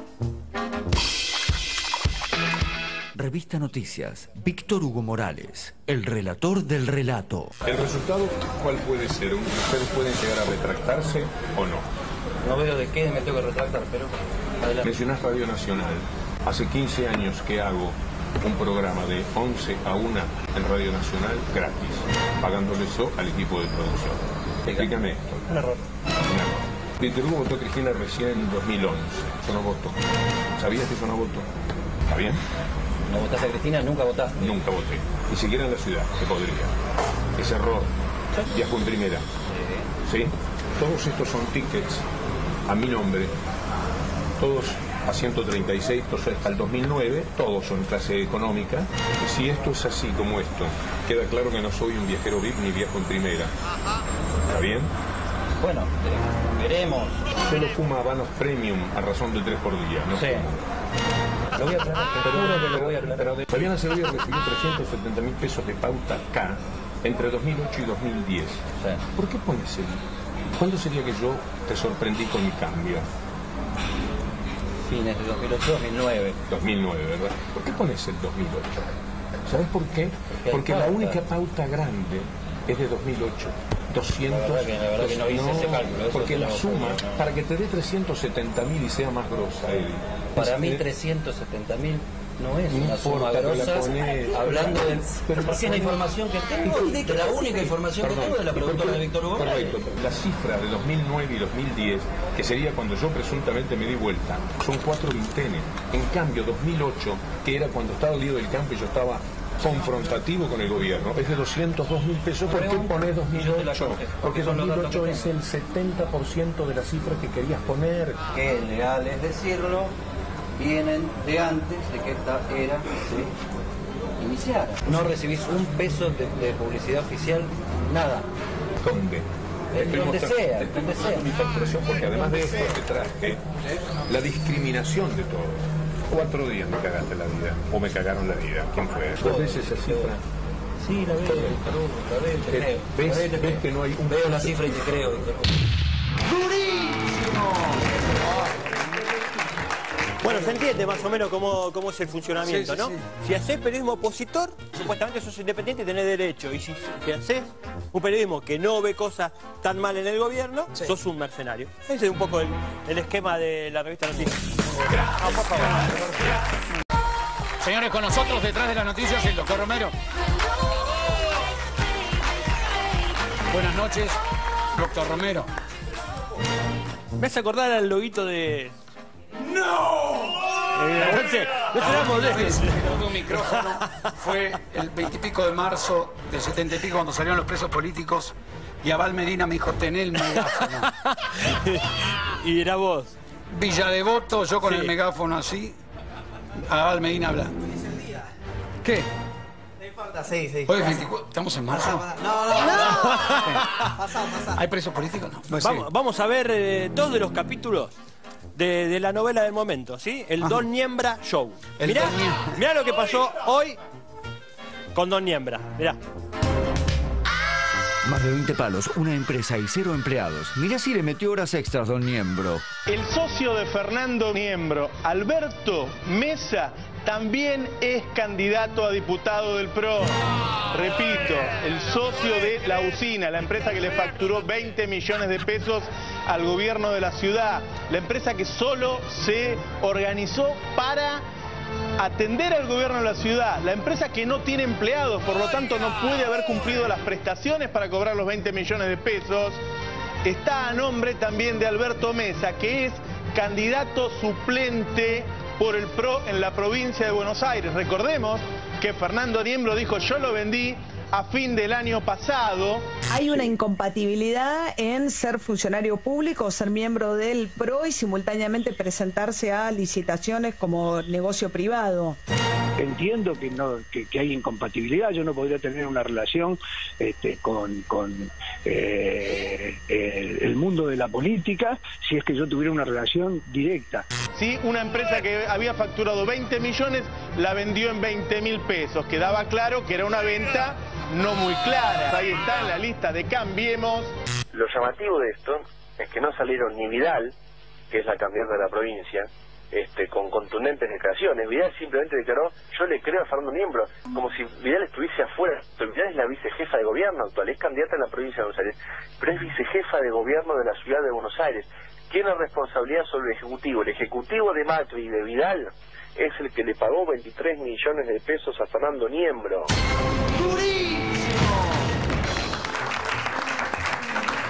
Esto no tiene una explicación real en la Tierra. El segundo capítulo de, de la novela de Don Niembra tiene que ver con una palabra que hubo un problema en, uno de los diarios, de los más importantes diarios de la Argentina, una palabra que se les gastó de tanto usarla en la computadora, porque no usan letras, usan palabras, y que es la palabra allanamiento, que la usaron muchísimo para, para muchos trámites judiciales. Allanaron municipio de la costa, eh, allanaron IPF, allanaron una empresa petrolera, allanaron la casa de Víctor Hugo. Y también hoy lo que pasó es que allanaron otro lugar por la causa de Don Niembro y no, no usaron la nación. Eh, Es, es interesante, digamos. Hubo un allanamiento y dice el gobierno porteño le entregó No, a la ya no, pero le justicia entregaron a la justicia información. sobre los No contratos con mismo la gente- que sacar la mano y decir, acá está la información. Y cerrar la puerta nuevamente. Planeta Tierra 2015. O sea, acá lo, que- lo que explica dice que la fiscalía fue, dice, miembro de la Fiscalía de Instrucción a cargo del fiscal, se presentaron en las dependencias del gobierno, hubo un oficio, una orden de presentación vinculados a la actividad de la compañía, dijo una fuente del gobierno porteño. O sea, no usan la palabra allanamiento. Me pareció muy, Me imagino que muy interesante, digamos. Tuvieron, sabe todo esto. estuvieron tardando, sí, imagínate. Segundo tema, eh, pero macanudo lo de la nación. Después, Niembro los convidó una ronda de factura, todo. Porque se portaron bien dentro de todo, ¿no? Pero bueno, eh, segundo tema. eh, hubo un encuentro de los ejecutivos de finanzas de las principales empresas del país. ¿Sí? Todo lo que maneja la, la teca de las principales compañías del país se juntaron. Fíjate lo que pasó, lo- cómo lo cuentan los diarios. El cronista dice, empresas ganaron en dólares más de lo esperado, pero son... pes- Tuve, tuve, tuvieron- tuvo discre- no hubo sincronía. Empresas ganaron en dólares más de lo esperado, pero son pesimistas para 2016. O sea, ganaron ¿Por qué guita. son pesimistas si ya están forrados en dólares? O sea, ganaron guita. ¿Hasta Fíjate. cuándo llega el forro final? Fíjate cómo evolucionaron ¿Cuánta las querés ventas. ganar, flaco? Y en dólares, ¿cómo fueron las ventas? ¿Cuánto? Las ganancias, mirá. Eh, 74% ganaron en el 2015, 74 crecieron, ¿sí? En el 2014, 45. 78, En el sí, 2015, 77. O sea, 74. generalmente gana bastante guita en dólares, ¿no? Fíjate que las tasas en dólares, viste lo que son, el 5 o 6% en el mundo, 4%, acá ganan 70 y pico. Dice, fíjate, lo que dice, aún así, el 81% de los encuestados aseguró tener proyectos de gran envergadura, de más de 50 millones de inversión, dice que no hay inversiones, para los próximos dos años. Además, el cronista, el diario de Narváez, te estoy leyendo, el 95% cree que sus empresas van a valer más o van a generar valor en los próximos cinco años. Dice que son pesimistas, son pesimistas, pero van a poner más plata de inversión y aparte creen, el 95% de la mayoría, que, que va a crecer mucho el valor de las compañías invirtiendo en la Argentina. ¿Es la visión del cronista nada más? Me fui a ver otro diario, digo, ¿qué pasa? Están todos los días diciendo que, que se cae, que Kicillof no sabe manejar la economía, que, que la gente se va, nadie quiere invertir. Y cuando se juntan los que tienen la plata, pasa esto. Mirá la nación. Dice, a la espera de cambios, lo, lo tratan de disfrazar un poco, no dicen, son optimistas, van a invertir más. Dice, a la espera de cambios, las empresas pasan para... especulación. 2016 su proyecto más grande. Dice, pese a que sus balances, la mayoría tiene por estos días ganancias para mostrar, también dice lo mismo, que ganaron guita. También saben que muchas de estas utilidades, dice Nación, son reflejo de la ilusión de riqueza. Dice que Ilusión ganan plata por ilusión de riqueza. Soy plata. rico, pero es una ilusión. Me puedo comprar todo lo que quiero, 40 mujeres, 60 mujeres, millones, lo que quiera. Pero es una ilusión. Es Planeta Tierra mentira. 2015. Ganaron el 78, no importa eso. Apuesta a cortísimo plazo y alto rendimiento. Fui a buscar otro de mis diarios de cabecera, que es Clarín. A ver, pues digo, Clarín sí iba a decir, porque digo, lo mismo, también lo, digamos, esconde. Fíjate, no dice que las empresas dicen que ganaron mucha guita, 78% dice que ganaron y que quieren seguir invirtiendo en el país. Lo que dice es, las empresas prevén que Si ganarán ganás menos menos. es que ganaste y ahora vas a ganar menos. Dice que van a ganar menos. Dice, respecto a las inversiones, el 81% se manifestó tener proyectos en cartera que podrían lanzarse en los próximos dos años. Incluso mayor importancia a los llevados. Dice que van a ganar menos. Y acá dice que en los próximos dos años, incluso importancia mayor a los que llevaron a cabo. Nadie va a invertir para perder plata, ¿no? Parece bastante ridículo que pensemos eso. Dice, estas inversiones quizás sean más grandes de las que venían instrumentando decir mayores a 50 millones de dólares. Dice, la, la única empresa que parece haber ganado guita, ¿sabes cuál es, no? La de Niembro, pero bueno, estas otras no. Tenían sexo en camioneta y acabaron en el lago. Eso es no usar forro. Hay que acabar el Gracias por venir. Señor Iván, Me gusta mucho eso. ¿le gusta? Sí. Tengo una empresa sin empleados. Es genial. ¿Sabe por qué? Porque me entra en la caja de seguridad. Bueno, esto que, esto que voy a decir como un chiste. Sí, tran- La usina Sociedad de Responsabilidad Limitada, que es como se llama jurídicamente la los empresa. ¿cómo eran? ¿Qué? Afluentes, creo que tenían. No, no, digo, va- vamos a plantearlo en términos jurídicos que, que corresponde, que es la empresa de Fernando Nimbro y Alberto Mesa, ambos, uno primer candidato a diputado nacional, el otro es número 12, digamos, suplente, eh, en el PRO, tiene, está registrada en la FIP como no empleador. ¿Qué significa que esté registrada como no empleador, aunque parezca una tautología lo que estoy diciendo? Que no tiene trabajadores, que no tiene empleados. Al menos en blanco. Y si los tiene, no están registrados. Claro. ¿Cuál es el punto acá? Uno, Sinembro hizo encuestas. Y esta te va a gustar. Sinembro hizo encuestas. Llamó él. Porque ahí están los decretos y la contratación directa de que la usina generaba encuestas. Y no tuvo empleados. Es la misma encuestadora que podemos tener nosotros. Claro, sí, No, no, no, no, no. Perdón, usted es mi empleado. Yo soy de plata. O sea, somos un jefe y un empleado. Mucho lugar para estacionar. Empleado en negro. No registrado. Serías mesa vos.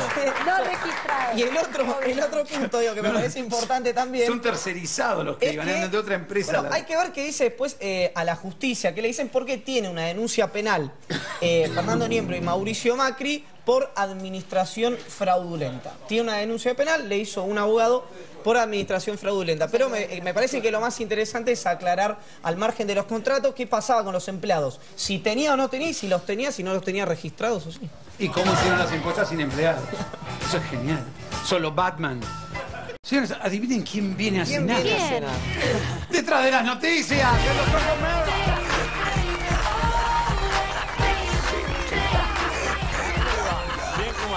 Ministro? ¿Bien? Cultura, está con el secretario de Cultura. ¿A usted es el, el, Sí, el sí, el cultura? candidato, precandidato a secretario de Cultura. No, no gaste Pero no, no, no hay para paso, diciembre, ni caso, no hay faltan unos paso ni nada. Candidato. Soy yo. di- Candidato. No, no, no me vengan a hacer competir con, con tres o cuatro Candidato. cabezas. Nah, soy yo directo. Nada, no me pongan muñequito de colores alrededor. ¿no? Candidato.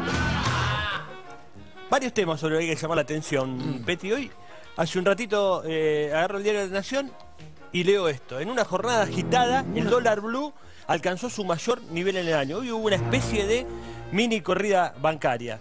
Hay, hay varios temas ahí que, que hay uno atrás del otro. Uno de lo que me comentaban recién no sobre, sobre lo que pasó con este, con este juez del menemismo que fue con la metropolitana IoT Sur. Pero, digo, fíjate, yo vi esto y digo, alguien estaba hablando de algo por el estilo. Entonces, fui al archivo, lo voy a dejar acá más chico esto, Petty, para Eso, no olvidarlo. 2015, 14. Fui al archivo y me encontré este editorial de la página de, Nación- de La Nación el 9 de julio. Editorial, no una nota adentro del diario, sino como la postura del diario frente al tema. Fíjate. Advertimos la posibilidad de un acontecimiento que altere el rumbo aparentemente tranquilo, aparentemente tranquilo de la evolución socioeconómica. Puede objetarse que entonces ya no sería imprevisible, pero también debemos agregar que un ave que sobrevuela podría no posarse nunca. Ahora, Los fíjate, ¿no? Digo, quiero que te acuerdes, hoy 14 de julio, esto fue el 9, hace cinco días Había un ave la que- Nación ya advertía que podía estar pasando esto, lo que finalmente sucede hoy, que es una mini negro. corrida, habla de un cisne negro. ¿Qué más dice? Vamos a dejarlo acá también. ¿Qué más dice? Dice, el cisne negro del que nos ocupamos aquí es una situación de pérdida de control de la conducción económica que produzca una reacción social caótica. A la A ver si se entiende. Lo decía hace cinco días nada más. Hoy la Corte falló en contra de un pedido del gobierno para evitar fuga de dólares a, tra- a través de un mecanismo que se llama el contado con liqui. La Corte hoy falló como falló. También pasó lo de Otesur con el juez, Bona- con el juez Bonadío. Y la Nación venía advirtiendo esto. Hablaba de un cisne negro que sobrevuela Sí, es una corrida sobre la. Argentina. Es, por ejemplo, el caso de una corrida bancaria. La famosa frase corrida que bancaria. lleve a imponer un corralito de depósitos y acentuar el cepo cambiario. ¿eh? Esto viene- fíjate, corporaciones mediáticas, la UIA pide reuniones con el titular de- de- del Banco Central, con el titular de la Secretaría de Inteligencia, ¿eh? empresas, corporaciones de medios y fíjate, y los bancos. Dice, el extremo de la caída de confianza ocurriría si quien venga pretendiera seguir con el modelo, pero hay un hecho objetivo, cualquiera sea el pronóstico electoral, habrá devaluación. Va a haber devaluación, una amenaza.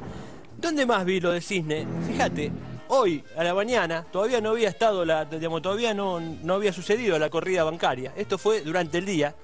El cronista se edita en el día de ayer.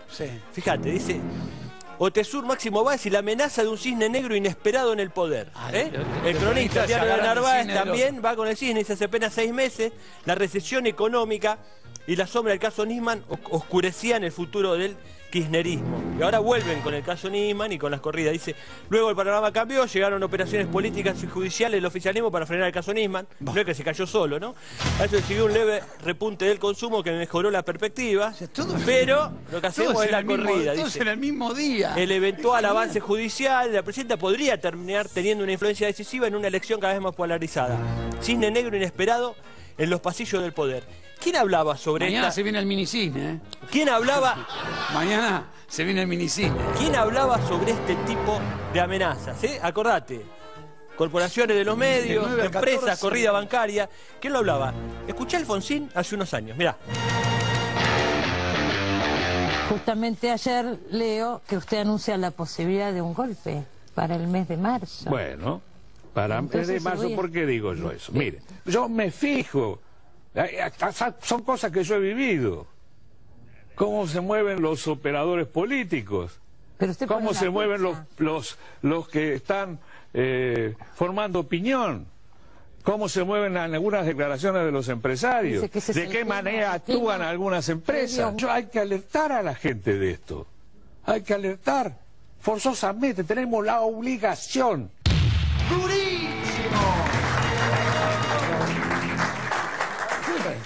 yo lo admiré al ¿Usted sabía que hay un cisne? Negro. Usted nombrándome a mí secretario de Cultura y hay un cisne negro dando vueltas. y no en la película. Y no en la película. Yo lo admiré siempre, Alfonsín. Nunca lo voté, pero lo admiré. Porque tuvo coraje. Y tuvo valor en momentos muy difíciles de la Argentina. Y ha tenido por la historia un merecido reconocimiento. Ojalá muchos radicales siguieran el camino de Alfonsín. ¿Cómo le va? ¿Cómo anda? El ángel de la cadera azul. ¿Cómo anda le usted? va? ¿Bien? Bien. ¿Qué, uf, ¿qué pasó? Naciones Hay- hay- Unidas, hay la semana... momentos en que pienso que los diarios no existen más. ¿Puede ser? Puede ser. Hay como semanas que digo, ¿hubo diarios? sí, hay, hay momentos. ¿En qué andan? Hay momentos difíciles. Te cuento lo que pasó la semana pasada, algo muy importante. Existe algo que se llama Naciones Unidas, Organización de Naciones Unidas.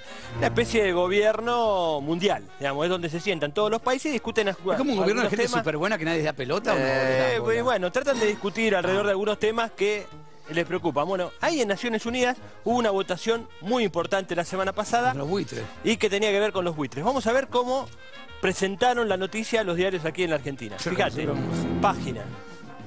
Dice, la Asamblea General de Naciones Unidas aprobó por abrumadora mayoría la propuesta argentina para limitar el accionar de los fondos especulativos en los procesos de reestructuración de deuda. Bueno, los fondos buitres. Votaron 135 a favor, 6 en contra, 42 se abstuvieron. Se ¿sí? abstuvieron, no entendieron nada. Los 42 no nada. 135 a 6. está muy bien. muy contundente, eh, Y favoreciendo aparte que estén la en bola las Naciones Unidas está muy bien. ¿no? Está muy Porque bien, le dan bola a todo, lo, a todo el mundo. Seguramente, Eso tiene que haber No te andan un- dando bola gratis. contra los buitres. Eh, BAE, Naciones Unidas aprobó la iniciativa argentina para poner un freno a los fondos buitres, ¿sí? Habla de la mayoría, votaron en contra Estados Unidos, Gran Bretaña, Alemania, Jap- Japón, Alemania, Japón, Canadá, Israel. O sea, generalmente los países que siempre han amparado a los buitres y son los que Sí, bueno, no son, no son ellos tontos. votaron en contra. Aprobó Naciones Unidas, ámbito financiero, una resolución con, con los buitres. Eh, todos le dan un, un lugar importante. Un Sí, tema, claro. eh, Argentina lo presentó. Un poco con orgullo también, ¿no? Eh, mostrando una, una ley argentina en contra de los buitres. Eh, histórico tiempo, Naciones Unidas aprobó la propuesta de la Argentina para frenar a los buitres. El cronista, Naciones Unidas, respaldó norma anti-buitre, aunque votaron en contra Estados Unidos, Japón y Alemania. ¿sí? Así que, fíjate, faltan algunos diarios acá. Vamos a ver cómo lo presentó Clarín el mismo día que presentaron los diarios la noticia así y al otro día de la 11 de región de Argentina. ¿eh? Por la vuelta, marcha San Lorenzo, la droga base, ese no es el título principal. Paso clave para saber dónde venimos, Sudáfrica. Eh, nunca nos dieron Para, para, para, Brasil. Ah. es la tapa de La tapa es una- un paso. la tapa de Clarín, sí. Tapa una foto grande Encontraron ahí, un que encontraron nuevo, una- o sea, sí, 1500 un paso clave, una nota como parece de color, dura condena a López. Brasil se escapa al dólar, acelera el ajuste. Dos, 235 mil docentes, la justicia repara la oposición. La, la ¿Dónde oposición está? exclu- Acá está. Ah. ¿Ves? ¿Ves acá? Ah, ahí chiquitito. ¿Lo puedes ver? Ahí dice, Naciones ¿Cómo lo Unidas ha- aprobó Ah, un proyecto mirá. contra los fondos buitres. Ahí está. Chiquita, Ah, penita, a ver, lo Ah, ponemos así. Vamos a verlo con verde, ¿te parece? Con verde, a ver. así. Ahí un ¿Eh? chiquitito. Ahí chiquitito en la tapa. Apenas se nota ahí como al pasar. No dice que es la Argentina la que presentó el proyecto ni nada. Eh, Ah, que claro, que sí, se, claro. cae, se cae un poco el discurso, sino decir, bueno, no, estamos aislados del mundo, nadie nos cree, nadie nos ve, nadie nos... Y ganamos 135 a 6 una votación en Naciones Unidas. A ver la nación, a ver la nación. Acá arriba generalmente hay cosas de espectáculo, no está, ¿no? Gran Rex, escasez de dólares, denuncia de una asociación ilícita, la fecha de los clásicos con 8.000 policías. Otra vez el lomo, el lomo el lomo este, Naleri, que Naleri. es un tatarabuelo, el tatarabuelo de los humanos. humanos. Fíjate lo A que nos puede servir esto, obviamente para curar el mal de Chagas. Viste que todo sirve para curar algo que va- sería bueno curar. Dice, Pero no, es- no sirve. de Dilma acelera el ajuste, Día del Maestro, vivir, soñar, enseñar Bueno, dale, en el dale, aula y en boludo, que no está, puedo. Chaco, El se acá, cayó el no, el techo del Chaco. hospital, no. Economía. Eco- eh, a ver qué dice Eh, acá, no. seguridad. Ah, a ver, Sí, sí. revocan el. Se enfermó el hijo Raquel Welch, eh. o cualquiera. Un proyecto ¿Dónde está, argentino. boludo? acá está. Acá. Mirá, la ONU. Yo porque leo la palabra ONU, Sí, por casi, suerte. sí. por suerte la palabra ONU es grande. Está en mayúscula. Claro, Pero está en no- mayúscula. Fíjate, si no pasa absolutamente desapercibido, es como si no existiera un proyecto que Argen- presentado por Argentina y que tuvo 135 votos. Ahora puede ser, digo, tal vez a, la- a Clarín, La Nación, bueno, no le importan los temas que tienen que ver con la economía o con los fondos buitres. Entonces fui a buscar algunos para atrás. Dije, ¿realmente no le importa? A ver. Griesa esto a seguir negociando, habilitó el pago de bonos. O sea, si habla Griesa es importante. Al 2 de agosto del Si es año pasado, Naciones mirá. Unidas la que vota 135 países a favor de Es Argentina, una, es una bosta. si es así, no. Dice Griesa ratificó a Polak. Si es Griesa va en Mira, tapa. Sí, tapa, es genial. Griesa evalúa hoy si el país, todo lo que piensa y dice Griesa, está bien, va en tapa. Declaró al país en desacato. Clarín lo met- mismo, el ¿Qué juez cuando negó te el meten un juez amparo. que nadie conocía. Eso es una cosa rarísima. Qué. Eh, eh, es, muy, es muy impresionante lo que hacen. Bueno, ahora vamos a otra que es algo que a vos te gusta, que es pensar el título que pondrías trabajaras en este diario. ¿eh? Fíjate, dice... Los empleadores reportan, eh, reportan intenciones de contratación relativamente estables en la comparación tanto trimestral como interanual. Está bien, claro, porque es, es por trimestre, bueno, tanto en el trimestre como en el año. Dice, los O sea, hay empleadores intenciones de contratación. estables, dice. ¿no? Sí. ¿Qué más dice? Según Manpower, según Manpower, los empleadores anticipan mejoras en las contrataciones en tres de las cuatro categorías de empresas. Bueno, conclusión. Dice, las medianas, dice que tienen el 10% expectativa. Sí. Y las pequeñas y las grandes el 7%. O sea, Entre el una 10 y cre- el 7 hay, eh, hay mejoras de contrataciones de aquí a, no sé, al año que viene. No sé, Sí, sí, o el trimestre o el año, El lo trimestre mismo. o el año. ¿Sí? El 7 o el 10. ¿sí? Sí, el 7 o el 10. Título de la Nación. Ahí está. La creación, ¿ves que dice? La creación del empleo privado. Estancada. Si va a crecer entre el 7 y el 10, ¿puede estar estancada? Pero uno- No, no dejes que la verdad te arruine un buen título. Petty, ese es el lema de la Nación. No estancada. Gracias por venir. Detrás de la noticia con nosotros. Venga, por favor, el doctor Romero. Gracias por venir. ¿Cómo le va? ¿Cómo le va? ¿Cómo anda? ¿Bien? Es un día de. Esta está de luto, la otra con los globos, todo es un quilombo. Imagínese, le estamos consiguiendo novio, el radicalismo. No es tan fácil, ¿no? Dios mío, se le pegó. Eh, ya van cuatro clases de petirato hoy, vamos a tener una especie de examen. No te voy a poner nota, Ajá. pero quiero ver si estás Gracias prestando atención o no. Siempre le presto atención. Sí, a ver. Vamos a ver, yo te voy a mostrar una nota, digamos, algunos, algunos párrafos de un, de un Sí. artículo, y yo te voy a pedir a vos que me digas qué título le pondrías a esa nota o qué título te imaginás que le Sí. puso en medio de esta nota. Fíjate. Vamos a empezar. Dice, dice así, dice, el gobierno podría tener una buena noticia en materia económica para este año electoral. Tres informes de entidades lejanas al oficialismo proyectan un rebote del consumo. De esta manera, en 2015 podría recuperarse en parte lo perdido en 2014. Así Clarísimo, el este título es el en el primero, ¿eh? 2015 se recupera parte de lo perdido en el 2014. Vamos a seguir. Puede ser, está bien, me parece que está en el sentido de lo que debería ir. Vamos a abundar un poco para. Pues si no puede ser que sea un párrafo solo, casualidad. Vamos a seguir abundando un poco, a ver qué más dice. Dice la Fundación Mediterránea, de donde salió Caballo, ¿no? El Ah, estudio liberal de Miguel Ángel Broda y hasta el Banco Ciudad, presidido por el macrista Rogelio Frigerio, adelantan que el consumo podría reactivarse algo a partir del segundo trimestre. En el mismo sentido va, ¿no? de- sí, sí, acá Va hay en el mismo reactivación. sentido, Hay reactivación. A ver, ¿qué más dice?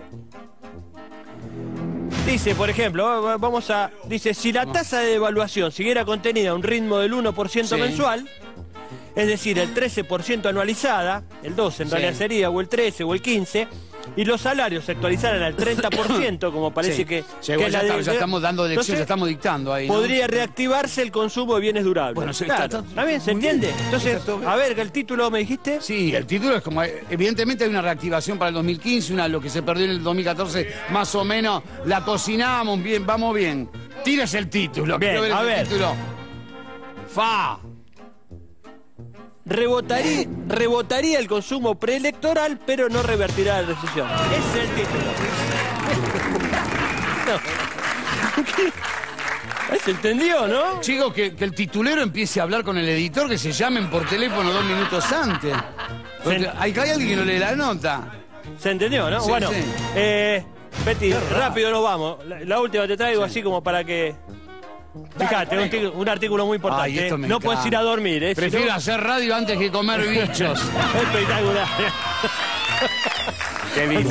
Da, da lo mismo, da lo mismo comer un bicho que un medio de comunicación, es Genial, es- es la verdad que prefiero. eh, ¿qué puede-. Che, una cucaracha a los cuatro quesos o una radio. No, la radio. Dame, déjame comer radio. Ah, Bueno, muchísimas gracias, no, por favor, gracias. Bien, acá. ¿eh? Bien. Oh, Gracias por venir. Ayer la institución este, Romero, detrás de noticias, ¿sabe cómo le dicen la redacción de Clarín? Le dicen alconafta, ¿sabe por qué? Sí, sí, alconafta, porque come la goma. Come la goma. Esto, esto- estos datos estadísticos, estos números superfluos que no le importan. Esos números- Superfluos que no le importan. Superfluos, no importa. Digo, no ¿Cómo importa nada. paraguas cuando hablamos con No, no, que el tema no es el paraguas, el tema es Limpia parabrisas en los anteojos. Pero digo, hablemos de lo importante. Digo, pues yo estuve buscando por acá, ¿dónde está Voodoo? Pues yo, la verdad que me emociono, me emociono. Pues lo extraño, lo, extraño yo, lo extraña la feca, lo La, propia moto de él. Bandiruel. Hasta el, hasta el dodómetro lo está extrañando. ¿Dónde está bueno, es así, la política es así. Hay gente que está, de golpe no está. Es- Se va bajando. Se sabe cómo es. Muchísimas gracias a todos. Voy a recibir, ahora sí, detrás de las noticias, el doctor Romero.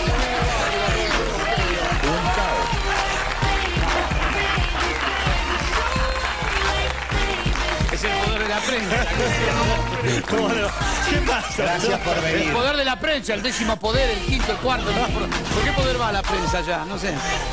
¿Cómo estás? ¿Bien? ¿Qué, qué nos ha traído? Bueno, lo que vamos a ver ahora un poco es cómo fueron tratando los medios el tema de la agresión a Víctor Hugo Morales que vimos Ah, hace un sí. ratito eh, detrás de la planta impresora de Clarín donde levantó un muro. Vamos a ver. La Nación. Agredieron a Víctor Hugo Morales en Barraca. Bien, la noticia está como bien presentada. El periodista Continental le tiraron un auto encima y lo amenazaron mientras hacía un informe sobre el diario Clarín. Repudio de ADEPA y FOPEA, dice el diario La Nación. Vamos a ver qué dice página 12. Repudios a la agresión a Víctor Hugo y dice mientras Morales grababa el programa Bajada de Línea, un auto avanzó sobre él y lo golpeó en una pierna. Bueno, correcta la información, en página también salió, vamos a ver Infobae, repudian la agresión que sufrió el periodista Víctor Hugo Morales. Sí. Así, en general los diarios entonces Violento han, ataque, han- dado violento ataque a Víctor Hugo Morales, el diario Crónica. después fui a buscar Clarín. Digo, ya que estaba recopilando todos los diarios, Claro. dije, bueno, Clarín también seguramente Sí, sí, debe salió estar. la noticia. Salí, abrí ¿Dónde y, está? No, empecé a buscar la noticia y la verdad que no te quiero no te quiero aburrir tanto porque la página es muy larga la de Clarín, ¿viste? Es muy Bueno, larga, es así más o menos. es muy larga la- Para que la puedas ver, ¿sí? Y, y empecé a buscarla, dije, bueno, debe estar por arriba porque bueno, justamente Es todo el mundo larga iba a mirar la pantalla esta. uno iba a mirar y digamos, iba a tratar de, de ver qué es lo que había pasado, porque justamente era en la, en- en la planta de Clarín, eh, de Clarín donde había sido agredido Víctor Hugo Morales. Por acá no estaba, por acá tampoco, por acá tampoco, por acá tampoco, por acá tampoco, por acá tampoco. No, digo, acá tampoco está, acá tampoco, acá tampoco. Te la voy a hacer corta. Fíjate, esto, esta es la página.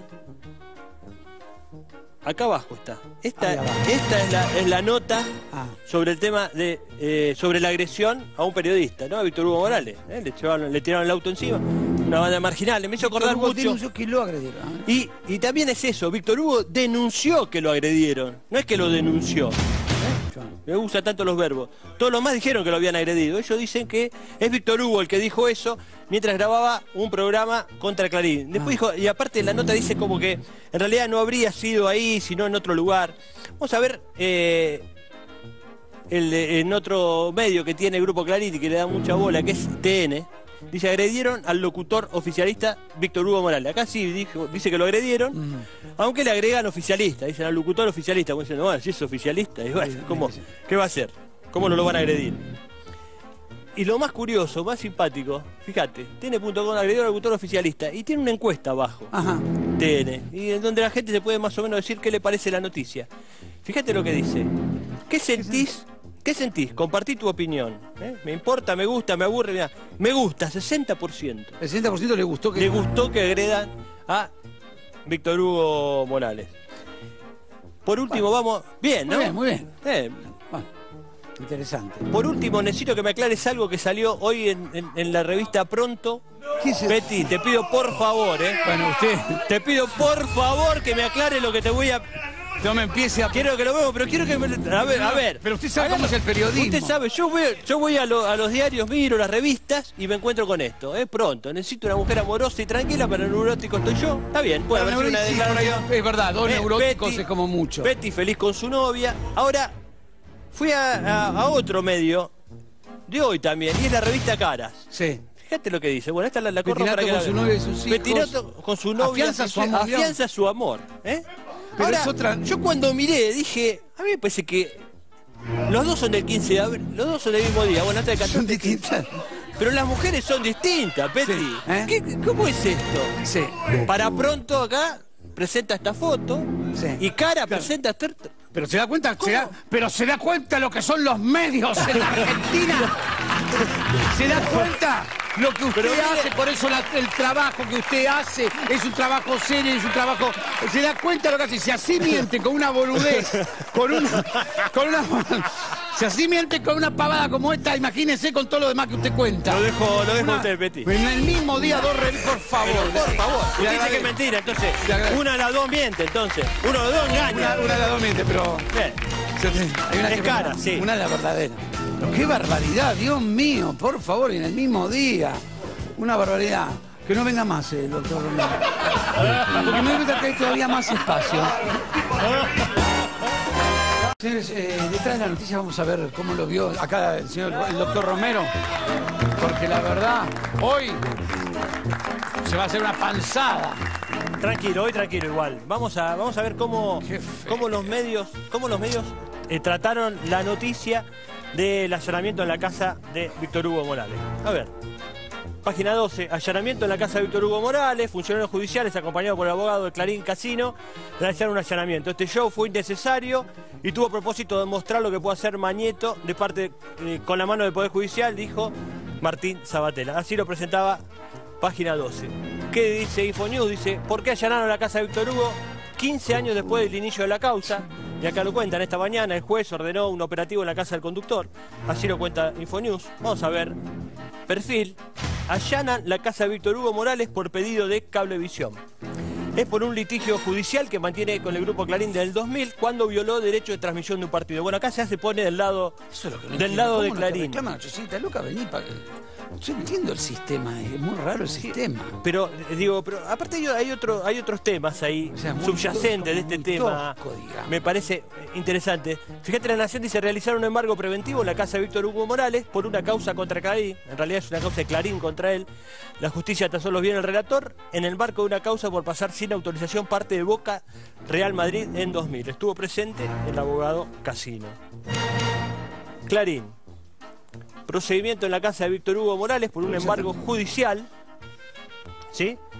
Dice, el hecho que contó con la presencia del abogado del cablevisión Grupo Clarín, Damián Casino, fue revelado por el propio relator oficialista en diálogo con C5N, propiedad del Grupo Indalo, de Cristóbal López, empresario ligado al gobierno kirchnerista. O sea, eh, la estigmatización a la orden del día y, digamos, y el gran tema de como diciendo, bueno, es kirchnerista, lo sale por un medio kirchnerista a denunciarlo, se lo merecen, realmente se lo merecen. Hay dos temitas. sentencia impaga. ¿se da Sentencia impaga, La claro, tiene la culpa él. Hay, hay dos temas, me parece, que subyacen de esto. Eh, Petty, uno tiene que ver con que hoy por hoy el Grupo Clarín es la principal amenaza contra la libertad de expresión en la Argentina. Fíjate, van a la casa de Víctor Hugo porque mostró atrás, de, de- en un televisor, atrás de su hombro, una parte de un partido. El año pasado quiso meter en cana a varios periodistas, eh, Sandra Russo, Caballero, bueno, a, a varios, a varios periodistas, después de, de lo que se conoció como el 7D. Sin- los acusó de incitación criminal, de 3 a 6 años de prisión. Después la levantaron, se dieron cuenta de lo que habían hecho. Antes también a- eh, habían, había pasado algo con un blog de Matías Castañeda. Matías había usado una frase de Clarín para crear un blog, para contar algo, era ¿qué te pasa Clarín? También accionó contra Castañeda. Así podemos ir para atrás desde el punto de vista histórico, es la principal amenaza contra la libertad de expresión real, cierta, en la Argentina. Y después hay otro tema también que tiene que ver con esto. ¿Por qué se anima a hacer esto Clarín? Bueno, por la impunidad por la impunidad.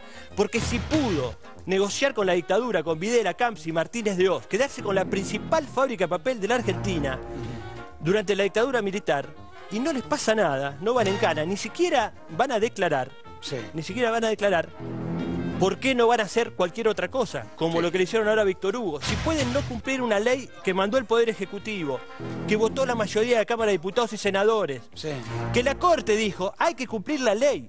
La ley es del 2009, estamos en el 2015, hace seis años que incumplen la ley y no les pasa nada. 2015. Bueno, avancemos, vamos a la casa de los periodistas que nos critican, que no pasa nada.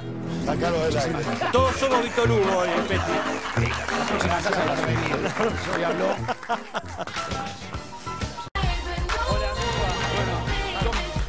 Poquito ¿Cuál, cuál es el análisis? El análisis. Cambio, cambio, estamos acomodando. Eh, vamos a ver un poquito cómo trataron, cómo trataron los diarios. Algunos le dieron ganador, algunos le dijeron empate, otros le dieron ganador a Yo uno. la primera vez que no necesité abrir internet, que ya, ya sabía todos los títulos de todos los diarios. De todos los diarios, ya sabían qué iba a pasar, ¿no? Muy gracioso. Tiempo que dijo que ganó Scioli, bueno, muy sin despeinarse, dice que ganó Macri sin despeinarse, eh, del grupo Clarín. Ahora, eh, me fui a fijar un poco cómo justificaban las cosas, ¿no? Cómo justificaban la- las posturas. Mira, La Nación dice, en el editorial, dice, ninguno sorprendió, bastante fidelidad a cada uno su propia receta. Esta es la razón por la cual no hubo knockout. Es posible que los dos hayan salido igual como entraron. Quiere decir que por este motivo ganó Macri. ¿Cómo, señor? ¿Pero cómo? Es un poquito raro, pero bueno, vamos a ver. Otro, el cronista también. E- Esto es algo así como. A ver, Mauricio Macri salió mejor parado primer debate, dice, no tanto, no tanto por sus habilidades. Esto es fuego amigo, señor, o sea que lo trata O sea, medio como de inhábil. de su- Ay, no, bueno. ¿no? Dice que como que no es hábil, y a ver qué dice muy, también del grupo Clarín, dice, se juraba una, una parada, qué sé yo, dice, más allá de lo cómodo e incómodo, la sorpresa, un Macri más agresivo y filoso y poca facilidad de palabra. Fuego amigo, señor. dice que es inhábil y que tiene poca facilidad de palabra. En realidad lo, lo más interesante me pareció, más allá del análisis del debate, etcétera, es cómo cómo vienen, digamos, en, en cada zócalo que pueden, en cada costadito, en la fecha, en cualquier lado, cómo ponen la palabra cambio, cambiemos el grupo Clarín. es muy va. impresionante.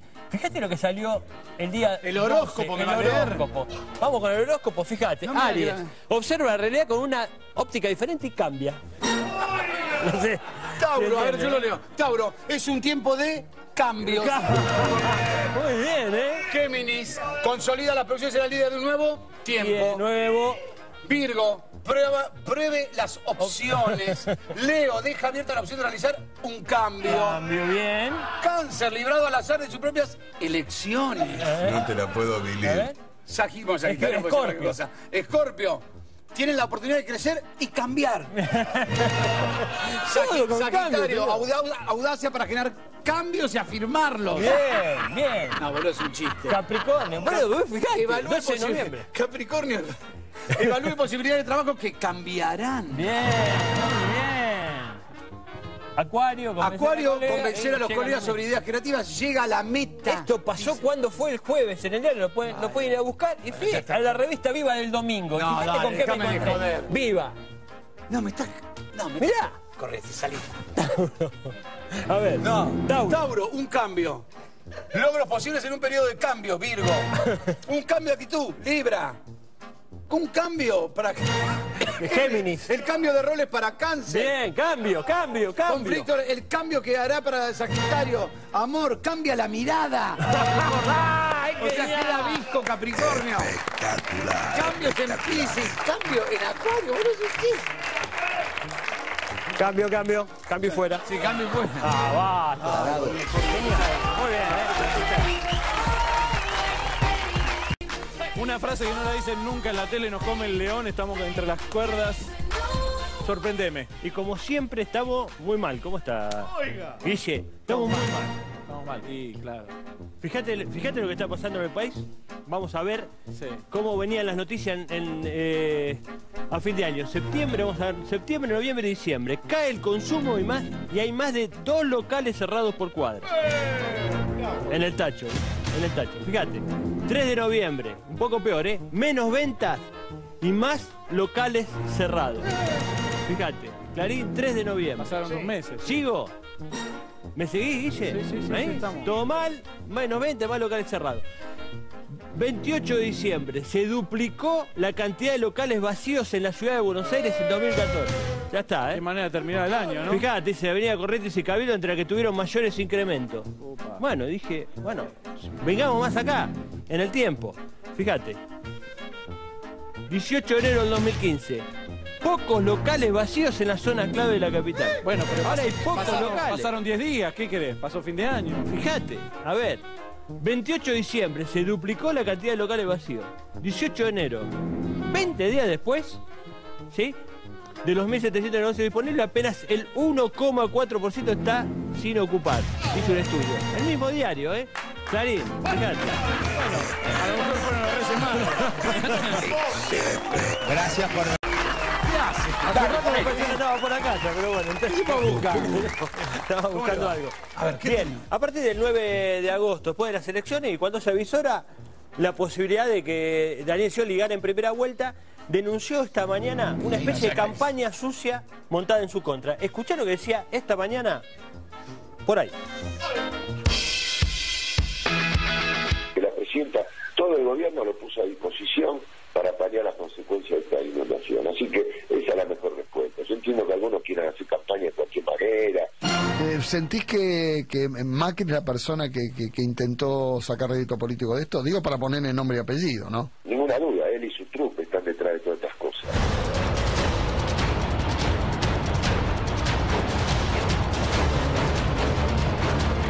Lo tenemos claramente identificado. Las acciones que llevan adelante desde redes sociales con campañas sucias, negativas en todo momento. Allá él, entonces hay una hipocresía total. Han recurrido a las peores cosas. Ponían en, lo- en los Twitter, para que tengas una idea, Macri ponía eh, imágenes de una inundación en Costa Rica.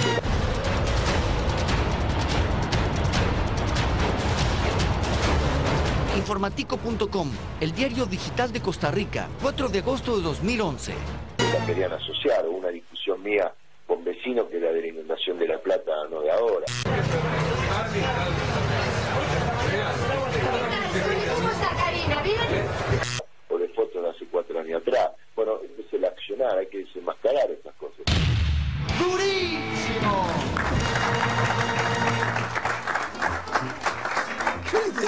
La verdad es una cosa. Hay- ver. lugares en el Gran Buenos Aires que son muy parecidos a lo que acabamos de ver con Costa Rica. ¿Hay necesidad de agarrar una foto de Costa Rica? Sí, tratan de ver algo que sea un poco O sea, peor y tratar de hacerlo creer. eh, Hasta la mitad puede, puede estar en cualquier, puede ser de cualquier lado, puede ser de las afueras de Palomares. O que Fíjate, hay, sea. hay- básicamente hay, hay tres o cuatro cosas, eh.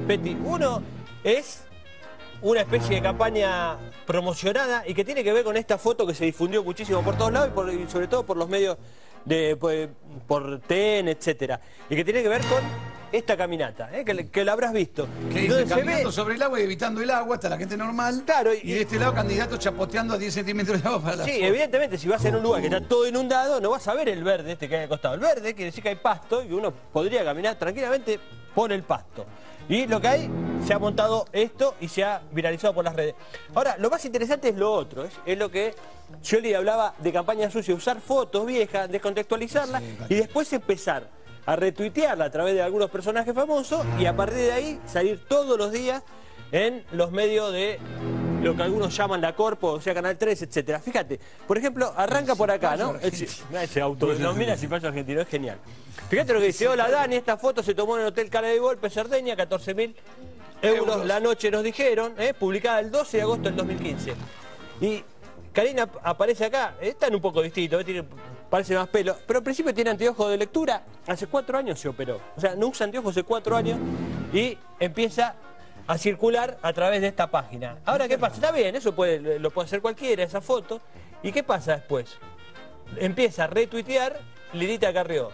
La misma de la operación, la que le prestó a los narcos la casa para hacer la, la operación que salió la opereta el otro día, bueno, empieza a retuitearlo. Entonces, ¿qué hacen los grandes medios? Empiezan a mostrar, empiezan a mostrar esta foto diciendo que, que son de Elisa Lirita Carrió. Sí. Entonces los medios dicen, Lirita Carrió dijo esto. Sí. Entonces a partir de ahí empieza a hacer noticia, empieza a circular. Lo mismo pasó con el tema del video, ¿eh? Laurita Alonso, ¿eh? Lo mismo. ¿eh? Opera- operación, es una diputada de PRO. Ah. Eh, eh, la operación de Nisman, la opereta armada alrededor del tema Nisman, Laurita Alonso, Bullrich, Lilita que le presta la casa a los narcos, empiezan a dar- y empiezan a dar vuelta en la en fuerza los del chisme, que la Fíjate lo que decía, en el informe decía lo que había dicho Macri. Fíjate quién, quién es el que dice lo de la foto esta que viste de la camioneta inundada. Nick, el principal editorialista de humor de el diario La Nación. Fíjate lo que tira. La ola naranja, más bien como no hicieron naranja, vino la ola y ponen esta camioneta. Buscaron esta camioneta y se encontraron con que era la misma imagen que había sido publicada en el diario informático.com, diario digital de Costa Rica, en agosto del 2011. Es lo que decís vos. Para Pero no- magnificar, porque... Pero digo, esta- pero no, no entiendo. Absolutamente. Porque, Y, pero digo, para- porque esta imagen la puedes sacar de cualquier lugar inundado, de cualquier acá del, de- del mismísimo Buenos Aires. ¿o no? Básicamente- No cosa- básicamente- Hay lugares así, ¿eh? Acá tenemos, che, tenemos lugares aquí made in, made in Argentina. Eh, se inundan y se inundan, flaco, ya está. Recuerdo que, digamos, claramente eh, ya eligieron el candidato para el Círculo Rojo, para Clarín, para la Nación, es Macri.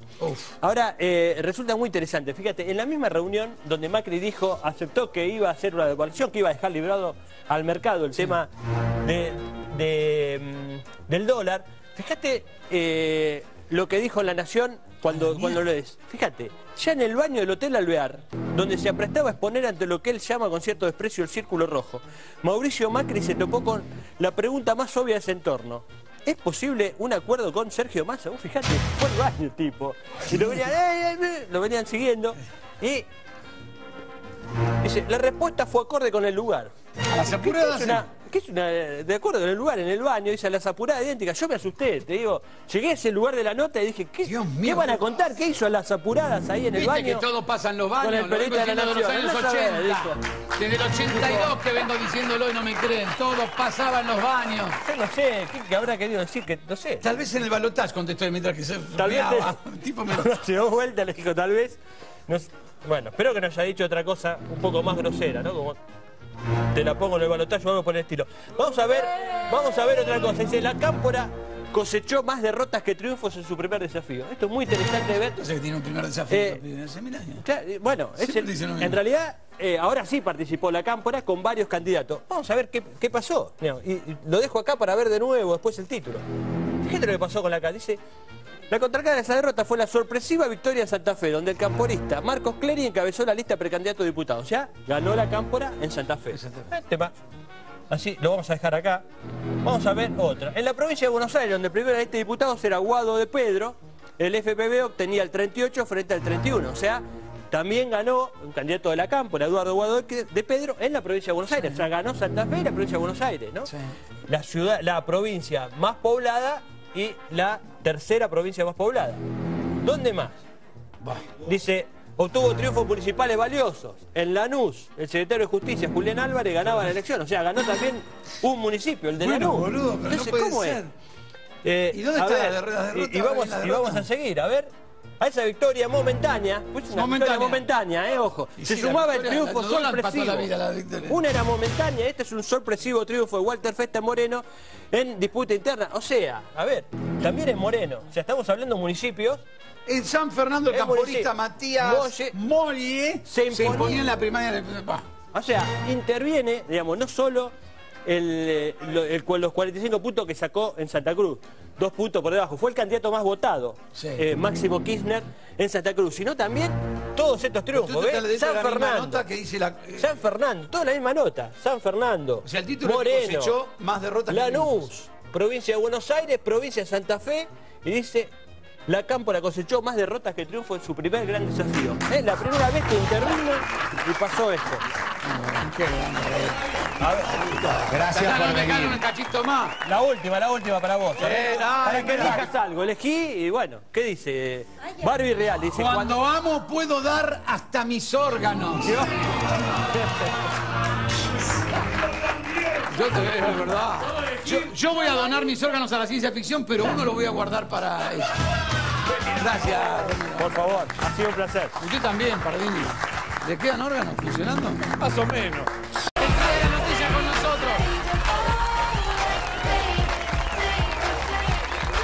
Gracias por venir. ¿Qué pasa? Cosa- Por favor, por a la favor. playa, llega, está toda la basura tirada. ¿Qué pasó? Cuénteme algo, por favor. Un poquito, un manto de luz pequeño. Vamos a, vamos a tratar Se de me ver. acerca octubre y tenemos que ver, estamos con Iván, que dónde ponemos la consultora, por favor. Mira, apúrese, apuremos, faltan pocos meses que empezar a decir que quién va ganando y quién no. Mientras tanto, algunos se dedican a hacer algunas cosas, como por ejemplo, fíjate, el Frente para la Victoria presentó esta mañana una denuncia contra el macrismo por la campaña sucia. Estuvimos viendo, ayer te mostraba algunas de, la, de los tweets que estaban, que estaban que están circulando por las redes y que empiezan a retuitear, curiosamente, algunos personajes de la política conocidos, después se repite en Sí. algunos canales de televisión, va dando vueltas eso. Una es ¿Te la, de- la del hotel que fue hace... Exactamente, eh, es eh, Karina que tiene anteojos hace cuatro años, ya se operó de la vista, Sí, así que es una foto, una foto vieja. ¿Te acordás la foto que comentamos Bueno, eso sí, eso ayer? es increíble porque- Esa camioneta que en realidad es una nota de Costa Rica, ¿eh? de agosto del 2011, y La Nación publica la hora naranja, más bien, como no hicieron naranja, vino la ola, y empiezan y, y empieza a circular para un lado para el otro. Bueno, vimos, vimos bastante, vimos la caminata. Y también eh, empezó a circular un video, fíjate que lo, lo hace circular Laura Alonso, la, diputada del PRO, eh, donde supuestamente eh, le reclaman por la inundación a Daniel Scioli. ¿Eh? Vamos a ver, eh, vamos a ver un tape que te voy a mostrar un detalle que hay en el tape ese que vas a ver ahora. La otra imagen que lo muestra a Daniel Scioli en la- con, con las inundaciones que son las del 2013. Si se fijan detenidamente, en uno de, de las partes muestra la dirección que es 7524.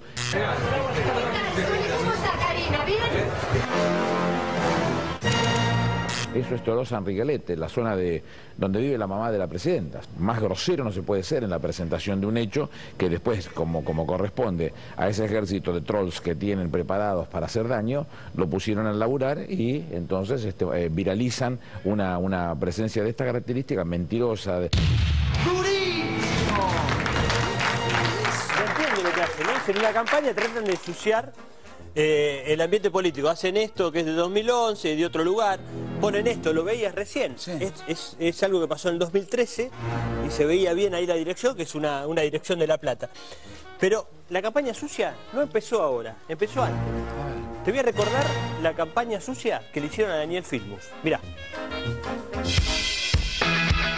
Si se comprueba que el padre de Daniel Filmus es arquitecto en la empresa de Sergio Joclender, ¿usted cree que esto le va a afectar negativamente a la candidatura de Daniel Filmus?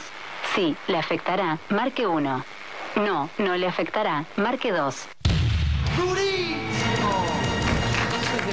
A ver, porque usted no sé si que- te acordás vos, fue en la campaña, en, en la campaña donde disputaban Macri y Daniel Filmus por la ciudad de Buenos Aires. Esto es verdad. Esto y empezaron a llamar, no solo es verdad, fíjate lo que pasaba después la de eso. Ahora te voy a, ahora te voy a mostrar otro tape. Fíjate este otro tape. Hola, este es un mensaje de parte de Daniel Filmus y Hugo Moyano. Las madres de Plaza de Mayo son el ícono de todos los argentinos en la lucha de los derechos humanos. La derecha fascista quiere atacarlas argumentando que hacen negocios con su fundación. Nos solidarizamos con ellas y rechazamos las calumnias inventadas en contra de Eve de Bonafini y el administrador de la fundación, Sergio Joclender. O sea, tenés dos tapes, ¿sí? Uno haciendo esa supuesta pregunta en una campaña sucia y la otra era otra diciendo supuestamente que era, que era Filmus, o gente de Filmus que llamaba y trataba de ensuciar la campaña. Ahora, ese, esa- eso que estábamos viendo recién, esa campaña sucia, fue comprobada por la justicia. Te voy a Ah, mostrar ahora. Fíjate. Procesado en 2011, zafó por una manito judicial del PRO, Durán Barba. Durante la campaña de los jefes de gobierno, 2011 se reveló la existencia de llamadas a miles de usuarios para darles información falsa sobre el padre Daniel Filmus. Era mentira, era Falso. información falsa. Dice, en la causa fueron indagados y procesados Durán Barba y sus socios Rodrigo Lugones y Guillermo Garat. Se calcula que la gestión PRO pagó más de 5 millones a estas empresas. Por eso digo que te apures para hacer la empresa. Capaz de Durán Barba te Iván, tenés que hacer algo sucio, tenés que hacer...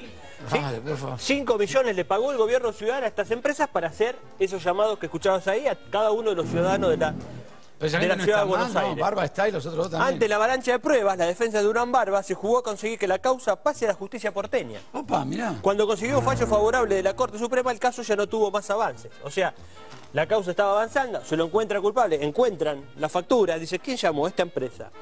Y esta empresa le habían hecho pago de la ciudad de Buenos Pero Aires. pasa la justicia por Pasa a la justicia porteña. En diciembre del 2013, Durán Barba consiguió que la causa prescribiera porque ya habría transcurrido el tiempo máximo de la pena que podía ser impuesta si él y sus socios hubieran sido encontrados culpables. Esto es, ¿cuál era la pena por haber hecho esa campaña sucia? Comprobada, dos años de prisión. Como cuando llegó de vuelta a la justicia porteña, se habían pasado dos años, dice, bueno, ya está, ya lo cumplió. Es culpable, pero no pasa nada. Ahora, ¿fue casualidad lo de Durán Barba o fue una estrategia? Fíjate lo que cuenta Durán Barba en su libro, El arte de ganar. Es el libro que escribe Durán Barba y donde explica su teoría de consultoría política. Dice, parecería obvio que las campañas electorales deben ser distintas, pero muchos no son conscientes de eso y quieren ganarlas llenando la Plaza de Mayo con cabecitas negras como hacía Perón.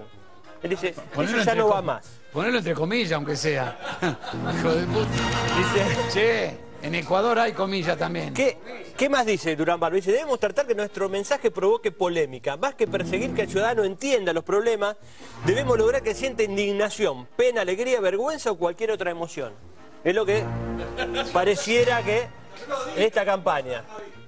Dice, al comienzo de esta campaña las encuestas decía que perdíamos y, y fue necesario hacer muchas cosas ingeniosas. Che, Todo es un ingenio, entonces cualquier cosa. Y dice, el ataque como estrategia. Averiguamos costumbre. Una persona de edad avanzada cuenta un caso con problemas de salud que mantenía rutina fija. Pintamos entonces grafite en las calles que lo frecuentaban. Los textos no iban a los votantes sino a él. Pretendían enfurecerlo a él y lo logramos. El objetivo de campaña sucia, enfurecer. ¿Ese libro está acá? Ese libro está acá. El ataque en la campaña, dice. El ataque Gracias fue tan brutal que su adversario, su adversario se aniquiló psicológicamente, incluso llegó al suicidio. Las recomendaciones de Durán Barba. Traiga el libro, traiga el Nos libro. vemos, traigo el libro la semana que viene. Vamos a ver el libro. Hay que empezar a ver el libro la nube de humo. ¿Cómo le va? ¿Cómo anda? ¿Bien? Pueblos que Bueno, caen esto, nube. ¿sabes que estos días así de campaña y eso, así como le pasó a usted cuando escuchaba esa, esa, publicidad del té? Eso fue muy Yo- gracioso. Salir es del baño increíble. Para ver qué foto pusieron y era un, té. Y yo lo que vengo sintiendo en los últimos días así de campaña es una sensación como de déjà vu, como cosas que en algún momento ya lo viví. Y dije, ¿de qué estoy? ¿Qué es lo que me hace recordar qué? Entonces dije, bueno, voy a, voy a repasar un poquito la- las ideas fuerza de campaña, lo que se estuvo diciendo últimamente. Macri tiene bastante escondido en general a la gente que tiene que comentar cosas de campaña, así que me puse a revisar más o menos algunas. No necesitamos un ministro Malvinas, dijo el eventual canciller de Macri, ¿eh? Fulvio Pompeo. Mauricio Macri, conmigo se acaban los curros en derechos humanos. Eh, privatización de aerolínea argentina de JP, Gaby Michetti, servicios públicos, hay que llevar el gas al precio que corresponde. Las tarifas de subir cinco veces, dice Melconian, potencial ministro de Economía. Y dije, un amigo, estas un amigo. ideas, estas ideas, ¿de dónde? Yo las vi en algún momento. Yo me puse a revisar un poquito en el archivo. Tengo un montón de así de diario, viejo, casi imagínate. Lo peor Pero este bueno, país es revisar. entonces empecé, digo, a ver, la Argentina no llevará el tema Malvinas a la ONU. Es igual a este que necesitamos Ratificó Caballo, 89, ¿eh? el asesor Fulvio Vélez sostuvo un diario británico que Macri tendrá una postura menos agresiva sobre Malvinas, hay que restablecer relación con Londres, ¿sí? Eh, después esta de Macri, 18 de enero del 97, las Islas Malvinas serían un fuerte déficit adicional para la Argentina. El pensamiento... pero, perdón, perdón. Las Islas fuerte Malvinas... déficit. Fuerte déficit adicional para la Argentina. ¿eh? Este, es el pensamiento Mirá puro bárbaro, ¿no? Y de los Macri. ingleses que son, que, que son ignorantes piensan que no, que tiene un valor. Tiene un valor, digamos, fue muy efectiva la política, ¿te acordás? Le regalábamos ositos a, a- a los, a los kelpers, etcétera. Bueno, esto es más o menos lo que, lo que piensa. Así que, ves, ¿no? Argentina nos llevaba eso bastante parecido. A ver. Esta que dice Mauricio Macri, conmigo se acaban los curros en derechos humanos, bastante parecida a esta otra de 1989. Menem firmó los indultos. También. Cucu. A ver. Curro de derechos humanos, ¿qué más vamos a ver? Inminente liberación de los indultados. Bueno, eso más o menos la política parecida. Esta, 11 de noviembre del 2015, los represores sueñan con un cambio, también en el mismo sentido. Ya se empieza a sentir también alrededor de Macri la posibilidad de que haya que se termine con los juicios, etcétera, por lo cual hay gente- mucha gente ilusionada. ¿eh?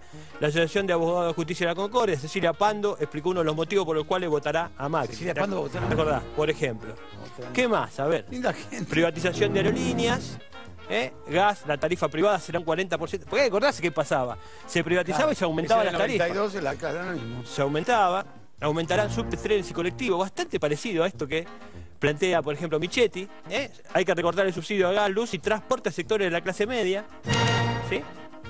Lo mismo dice eh, Melconian. Melconian. Dice el importe de la factura de electricidad, comercio e industria deberían duplicar gas y transporte. A ver qué pasa. colectivo, etcétera. Ahí está, la tarifa. Ahí está, la tarifa privada, Gaby Michetti. Esto, aumentarán subtes, trenes y colectivos. Aumento del 80% del subte solo refleja la inflación. Esto es la política de, de Macri. Cuando recibió los subtes, lo primero que hizo aumentar la tarifa de transporte. Eh, aerolíneas es privada. Bueno, acá tenés. Ahora vamos, vamos a lo último, porque ayer se conocieron los datos sobre empleo. ¿no? Uno Sí. le puede decir cualquier cosa a este gobierno, menos que una de las una de las centralidades de la política fue que haya trabajo. Sí. Algo que se sufrió mucho en los 90, más allá de la discusión de todos estos temas, Sí. derechos humanos, privatización, de todo, sí. Lo más importante fue el transporte. Hubo meses que estaban las rutas cortadas porque faltaba el empleo. ¿Te acordás? Soya popular, etcétera. Bueno, se conoció la cifra del desempleo, fue la más baja de los últimos 28 años. ¿sí? Se conoció ayer la cifra. ¿Cómo lo, cómo lo anunció TN? Vamos a, vamos a sacar un poquito todo esto para que no nos moleste, pero así lo anunció TN. Se terminó el sueño del pleno empleo para Chaco en el INDEC. Luego de años pu- publicar menos desempleo, dice, la tasa nacional cayó a 5,9, la más baja en 28 años. Fue la más baja dice que, porque había un número en el Chaco que no había tanto desempleo, que después había más. Entonces, lo centró en eso. Ocultó que fue la, la tasa más baja en Ese desempleo. tendría que haberse un título. Y pone, absolutamente, y pone, No ¿eh? la tasa nacional más baja en 28 años, es, un- es una noticia. claro. Fíjate la foto, es lo que más me llamó la atención. Digo, ¿dónde hay? ¿Hay cola? Se está confundiendo Disneylandia Digo, hay cola, sí, de, de desempleo, aparte con campera, me pareció raro. Fui a buscar en el archivo ya no de los nacionales, sino de los internacionales, mirá con lo que me encontré, Betty. El, des- el desempleo. ¡No! No te la puedo El, el desempleo en Grecia alcanzó en octubre un récord de 27. O sea, es la misma foto. Acá de 5,9, ¿sí? El misma foto, sorpresa, enero del ¿no? 2014, y esta está publicada hoy. Y esa es hoy. Claro. Usan la foto, y porque ¿cómo muestran desempleo en la Argentina? Si la verdad cola, que una cola cualquiera. hay algo bastante parecido al pleno empleo. Más o menos esas son las cifras de- del empleo en el mundo, de, de los que está más bajo, como está hoy en la Argentina. Y usan foto de Grecia. Nos vemos, Betty.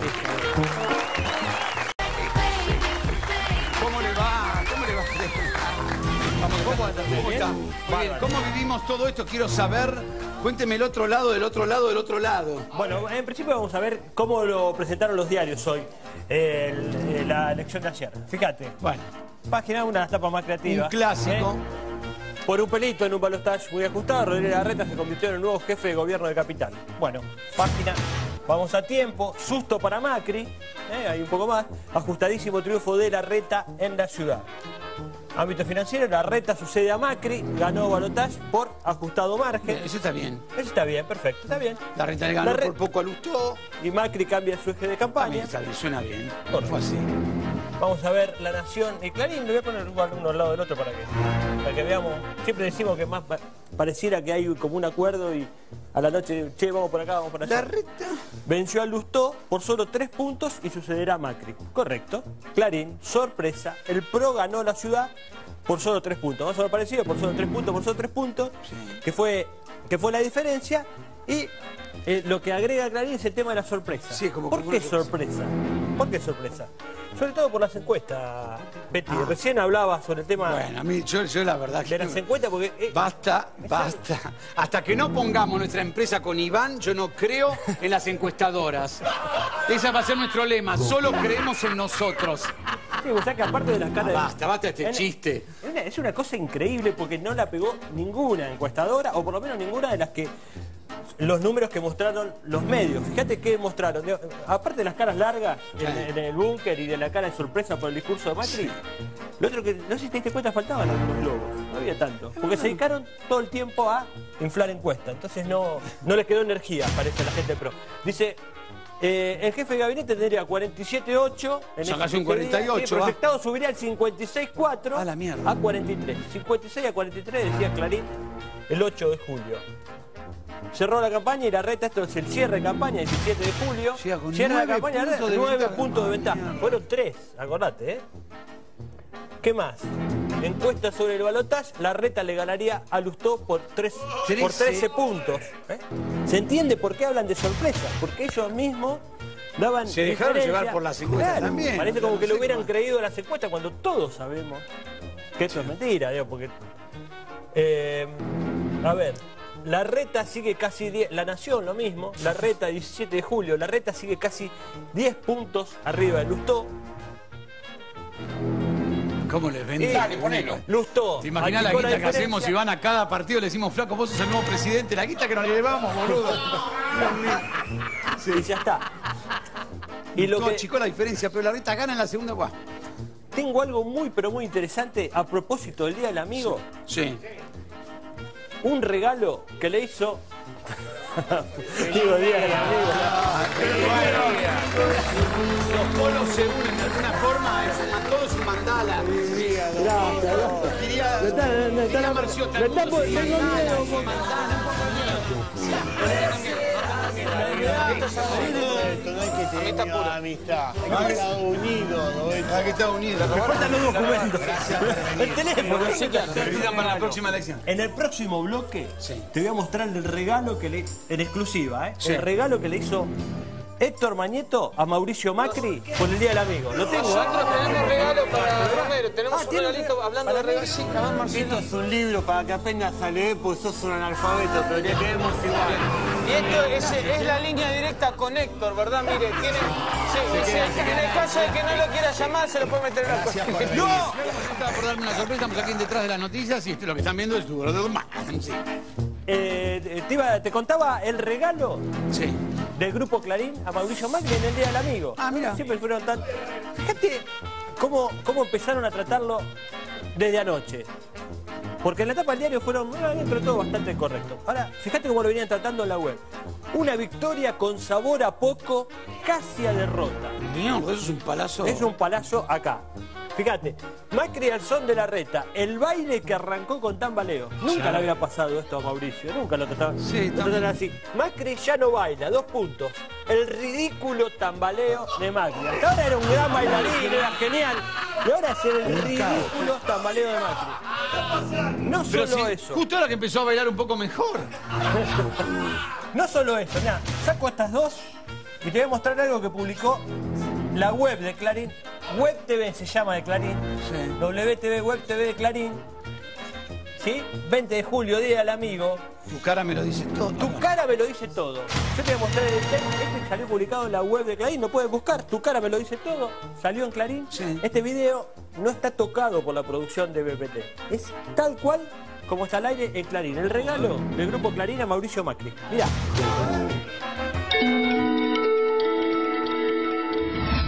Quiero invitar a, a Mauricio y, Ma- y a María Eugenia. Tu cara me lo dice todo. En silencio me hablas de algún modo. Algo no te deja ser feliz. Sé, la vida no es cuento de hadas. Y vamos de la nada. Tratando de sobrevivir. En un ratito viene Mauricio.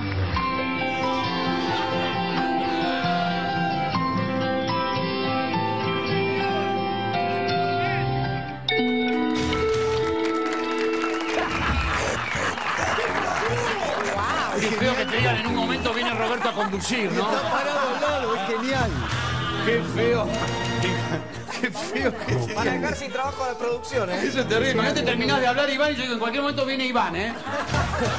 O sea, boludo, es horrible. Me espanto. El regalito. ¿Pero qué pasa? Son como un escorpión. ¿Lo- ¿Lo conocés el cuento del escorpión? A la rana le dice dale y te pica, en un momento te pica. Yo por lo menos mantuve mi coherencia, no sé por qué no te puede quejar. Los chistes míos siempre fueron. ¿Cómo le explico ese programa? Programó, programó. ¿Cómo le va? ¿Bien? Muy bien. Eh, vamos a ver, ¿A dónde me va a meter vengo hoy? siguiendo, vengo siguiendo hace unos meses un tema que le dio mucho despliegue a algunos medios y que tiene que ver con un tema que involucra al ministro de Economía Axel Kicillof. Fíjate, Cristina, Axel y, y Fábrega, una pelea que quebró códigos. Kicillof fue cuestionado por haber intervenido en favor del Fondo de Inversión LATAN para que el, el Banco Central le venda bonos de manera directa y ventajosa, dice Clarín. ¿eh? 3 de octubre. 4 de octubre. El broker vinculado a Kicillof investigado. Se deslizó que el ministro de Economía, acá ya empieza a poner un Se poco en duda. Acá me lo gusta dice- la palabra, me gusta el se deslizó. Acá dice, eh, fue cuestionado por haber intervenido, benefició, dice acá. Acá ya dice, eh, el ministro de Economía habría supuestamente intercedido. Ya, bueno, pone un poco Y después alguna, de que algo alguna se distancia. desliza, ya no- cualquier cosa puede Dice, pasar. tal como lo adelantó ayer Clarín. No están ni agarrados, los papeles no están ni agarrados a los escritorios, Lo se deslizan. habría intercedido. Abrís una ventana y se va la mierda todo. No podría decir habría intercedido, no. Habría supuestamente, en algún caso... ¿Qué le pasó ahora? Bueno, Compró 200 habría, palos ahora. en bono de la. Eh, tal como adelantó Clarín, ¿sí? Supuestamente una noticia Clarín, entonces sí, hubo un error de Kichilov, pone, eh, el ministro facilitó en diciembre, ta, ta, ta. Siguen con el tema, octubre, ¿sí? 3 de octubre, 4, todos los días con eso y toda la, la cadena de medios. 22 de noviembre. Ahora dice, los fondos buitres apuntan contra, contra Kicillof. Kicillof Los fondos buitres sospechan que Kichilov le habría dado información privilegiada a Mari para la compra de títulos. O sea, en realidad, esta noticia no es de Clarín, adelantó Clarín. En realidad era, siempre fue de los fondos buitres. ¿sí? Los fondos buitres apuntan, sospechan que, digamos, Ah, y mira. esto es lo que, lo que fue alimentando esto. Después dice, investigan para saber si favoreció, entra, ya, ya empieza a entrar en la justicia, ¿sí? 10 de diciembre, ¿eh? 3 de octubre empieza y diciembre entra en la justicia el caso. Sí. Sigo leyendo, cita en Estados Unidos un financista que salpica a Kichilov, salpica a Kichilov, bueno, va a ser salpicaduras y deslizamientos. Se trata de... Creen que el ministro le brindó información privilegiada. Leo, Kichilov, 6 de marzo del 2015, ¿eh? unos meses, todo el tiempo fue diciendo esto. Dice, para los buitres habría brindado datos a Diego Marinberg. Acordate que decía que era Clarín, en realidad era de los buitres. Calificó de estúpido a un periodista inglés por, por haber, digamos, por seguir con este, con este tema. Ayer hubo una novedad digamos, en la justicia, así que sobre este tema, como vengo Sí, siguiéndolo, claro. fui a buscarlo. Me imagino cómo debe haber terminado. A ver. Entonces dije, bueno, empecé a buscar, buscar, buscar, buscar. Dije, bueno, no encontré ningún lado en política, digamos, esta la, la ponía más adelante. Bueno, no lo encontraba. Fui a la página de economía, digo, pone muy poco Clarita Economía, una página, a veces dos, no más que eso. Los gobiernos privados, una familia necesita 11.000, Metrogas APAE, acusan IPF y Calgalucho. Y esta notita acá chiquita, fíjate, la vamos, la vamos a agrandar.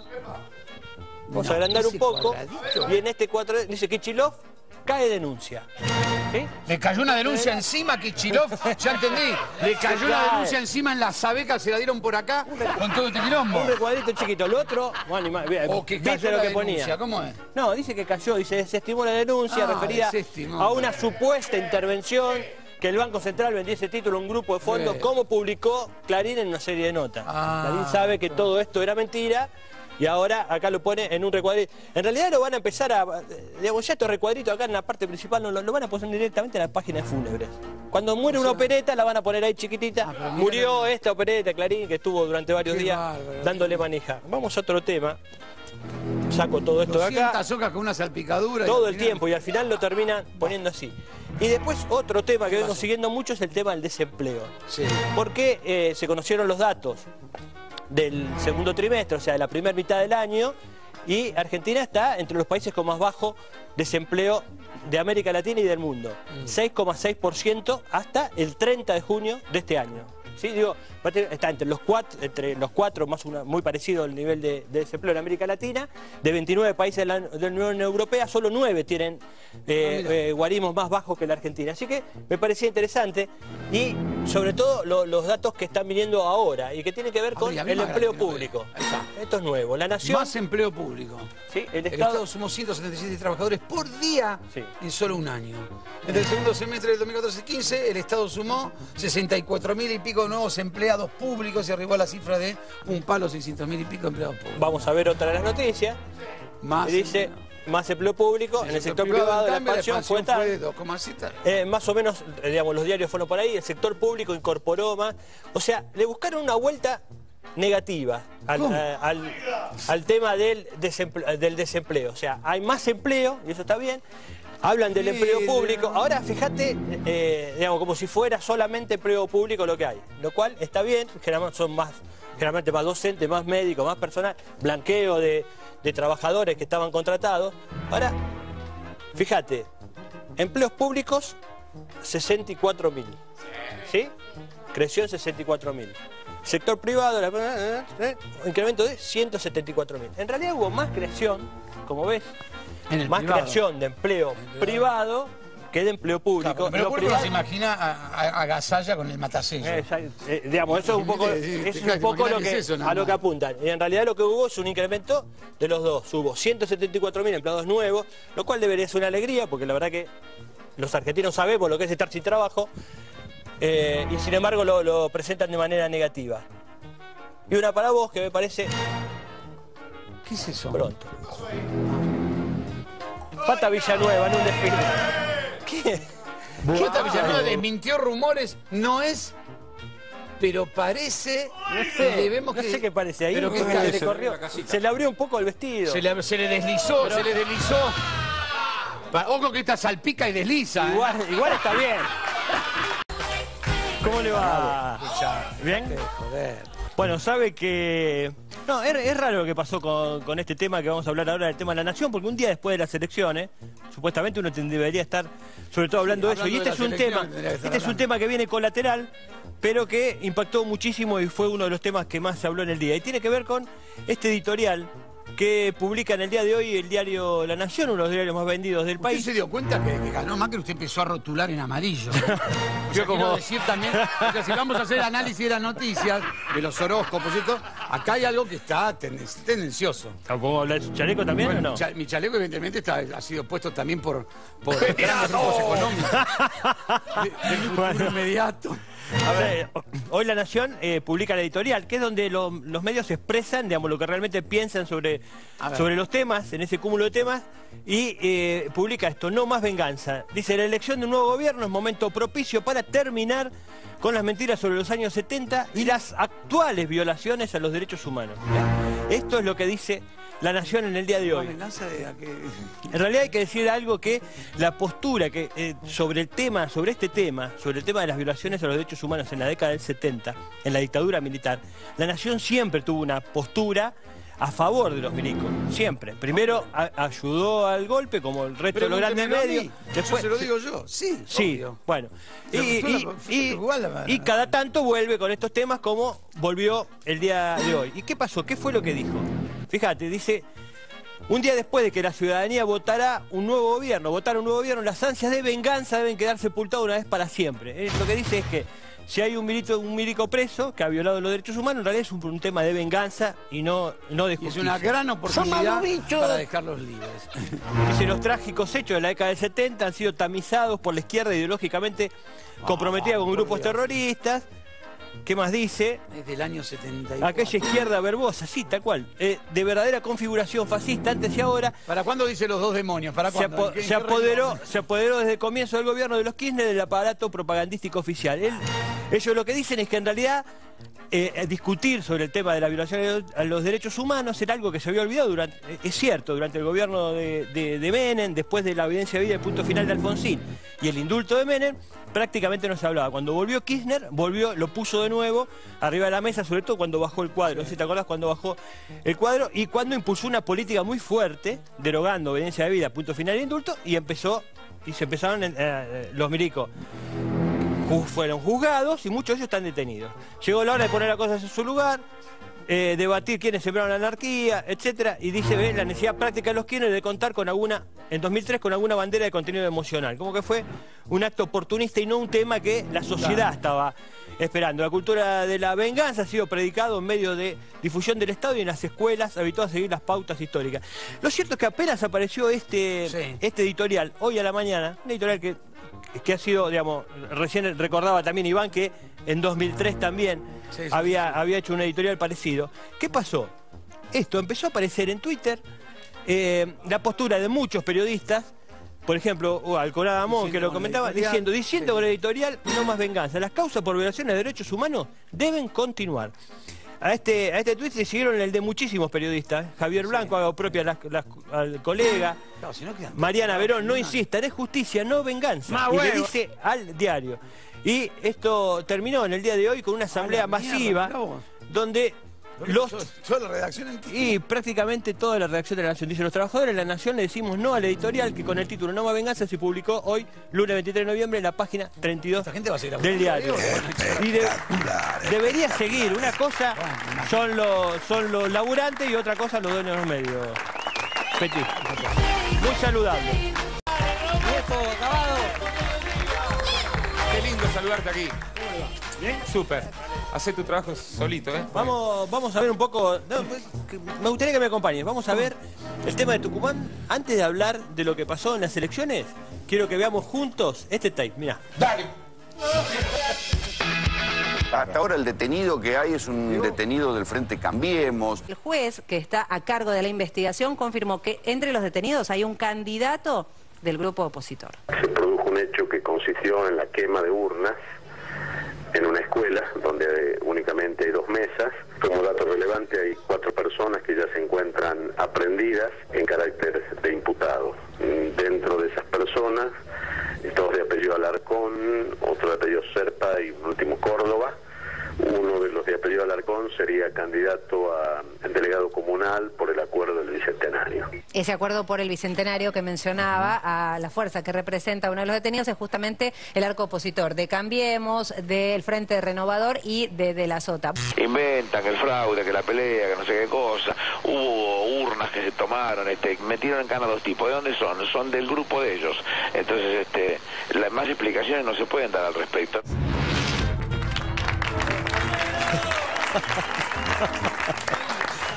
Bueno, viste lo que, lo que pasaba en el tape, lo que te contaban sobre eh, el tema de las denuncias que ya venían de antes. eh, Es como que se venía preparando. Ya las encuestas decían que había un claro triunfo al frente para la victoria. Empezaban a decir, bueno, está bien, puede ganar, pero con fraude ganarán, con fraude ganarán. Fíjate la tapa eh, del diario el día después, o sea, el día de hoy. Lento escrutinio, violencia y denuncias en Tucumán. Dice Pero- Clarín, La Nación, violencia y quema de urnas en las elecciones de Tucumán. Escándalo en Tucumán, Macri y Massa pidieron que se abran las urnas y desconocieron a Mansur como ganador. Esto es más o menos las noticias al día de hoy. Ahora bien, ¿de dónde venía esto? No me preguntes a mí. Fíjate, quema de urnas.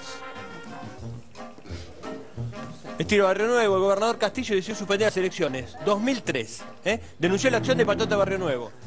Luis Barrio Nuevo, ¿qué tiene que ver con, con Massa? Mirá, Barrio Nuevo. A Massa lo creamos nosotros en San Martín. Barrio Nuevo, ve un 90% presidente a Massa. Sorpresivo encuentro Macri Barrio Nuevo, brindis y promesas para el 2015, ¿sí? El mismo. Y, el mismo modus operandi. Fíjate lo que pasó una vez que se conoció la quema de urnas. Un postulante opositor, este diario es la Gaceta de Tucumán, es lo más parecido a Clarín que hay en Tucumán. Dice, un postulante op- opositor aprendido de Sargento Moya tras la quema de urnas. Las urnas habilitadas en la escuela Francisca Bazán de Laguna fueron quemadas por cuatro personas que luego fueron aprendidas por orden judicial. ¿Y qué dice? Uno de ellos fue identificado como Hugo Alarcón, candidato comisionado comunal por el acuerdo para el bicentenario. O sea, los opositores al. Cuando dice se quemaron las urnas Sí, sí, y que es están acusando al gobierno... Al menos le pusieron en- la H a la palabra aprendido, qué eh, difícil. Al menos eso no, eso no, es, nada, no es nada fácil.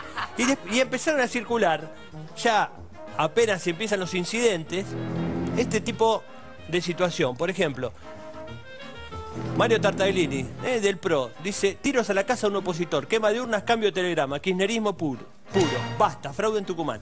De esto empezaron a circular los tweets con esta ¿Vos foto. ¿Viste la cara de nabo que tiene este flaco? Mirá la, mirá la foto, no, no, no, no sea así. Mirá esta foto, mirá, marzo del 2013, Trujillo, ¿sí? Esto dice, balacera deja dos personas heridas en La Esperanza, ¿sí? En Colombia, fíjate, las mismas balas, podríamos usar, podrían ir al, al Olímpico, ¿no? podrían, ir, podrían ir al Olímpico, mirá, en el 2013 en el mismo lugar hicieron los agujeros de la bala, allá y también, y también en Tucumán. Ahora, ¿es nuevo lo de la, es nuevo lo de la campaña? Fíjate cómo vienen, cómo vienen sucediendo, digamos. Mirá lo que hicieron con la muerte del militante. La semana pasada muere un militante radical de Jujuy, de un disparo. Dice, las versiones apuntan que el joven Clarín fue baleado tras repartir boletas ante su paso por miembro de la agrupación K Tupac Amaru, ¿eh? la semana anterior. Dicen que fue baleado este chico por el kirchnerismo. Morales, tenemos sospecha de que se trata de un crimen político, ¿sí?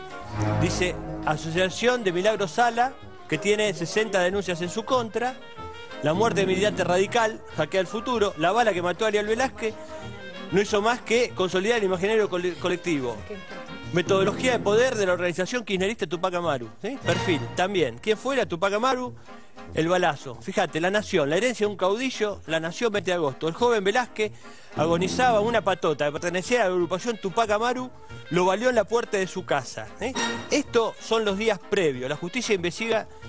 Fíjate lo que pasó 23 de agosto, nota de la Nación. Después de que dijeron que era la Tupac Amaru que lo había baleado. Días y días y, y todos los canales de televisión. Investigan vínculos con los narcos. La justicia investiga el homicidio como relacionado al comercio de marihuana. es eso ya otra cosa. ¿sí? Es otra cosa. Y fíjate, la Nación también dice, la víctima no tenía que ver con la actividad, la venta de marihuana, pero las mismas fuentes que hacen necesaria esa aclaración sostienen a su vez que el muchacho salió segundos antes de su crimen de una casa señalada como proveedora de droga en el humilde barrio Juan Pablo II. O sea, estuvieron todas las semanas agitando que lo había matado el kirchnerismo, diciendo directamente quién era el asesino y todo, y en realidad, aparentemente, digamos, cuando la justicia empieza, empieza a actuar, ¿con qué se encuentra? Con que en realidad había salido de una casa señalada como que vendían droga ahí en el barrio. El último.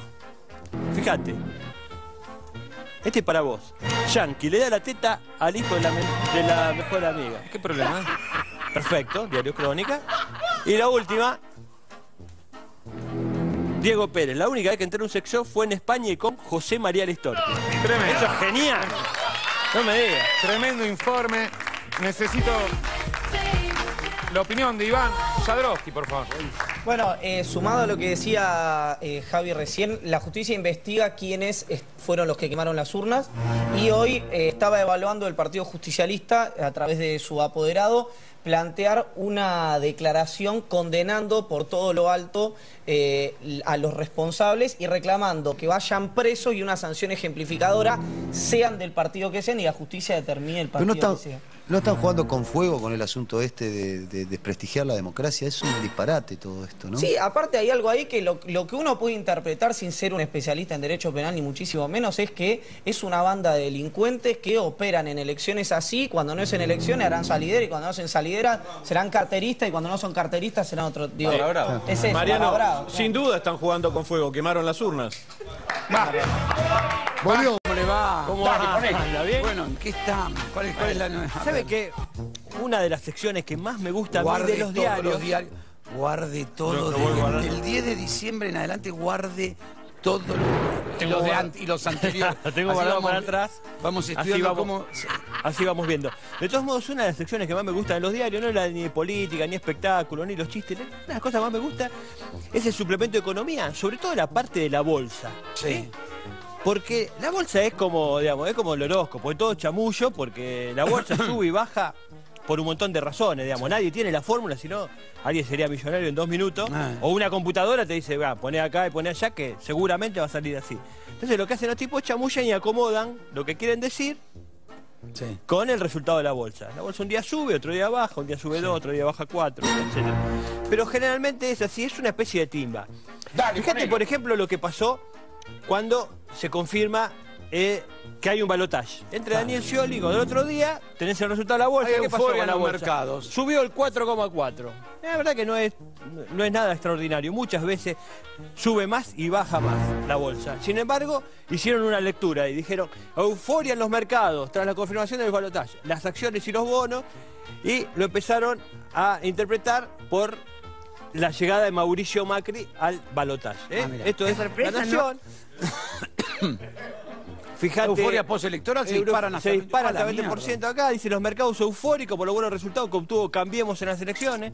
En el balotaje, no en la elección del domingo, en el balotaje, ¿sí? ¿Ves? Octubre, ¿sí? Las acciones de las empresas argentinas que cotizan nueve se dispararon.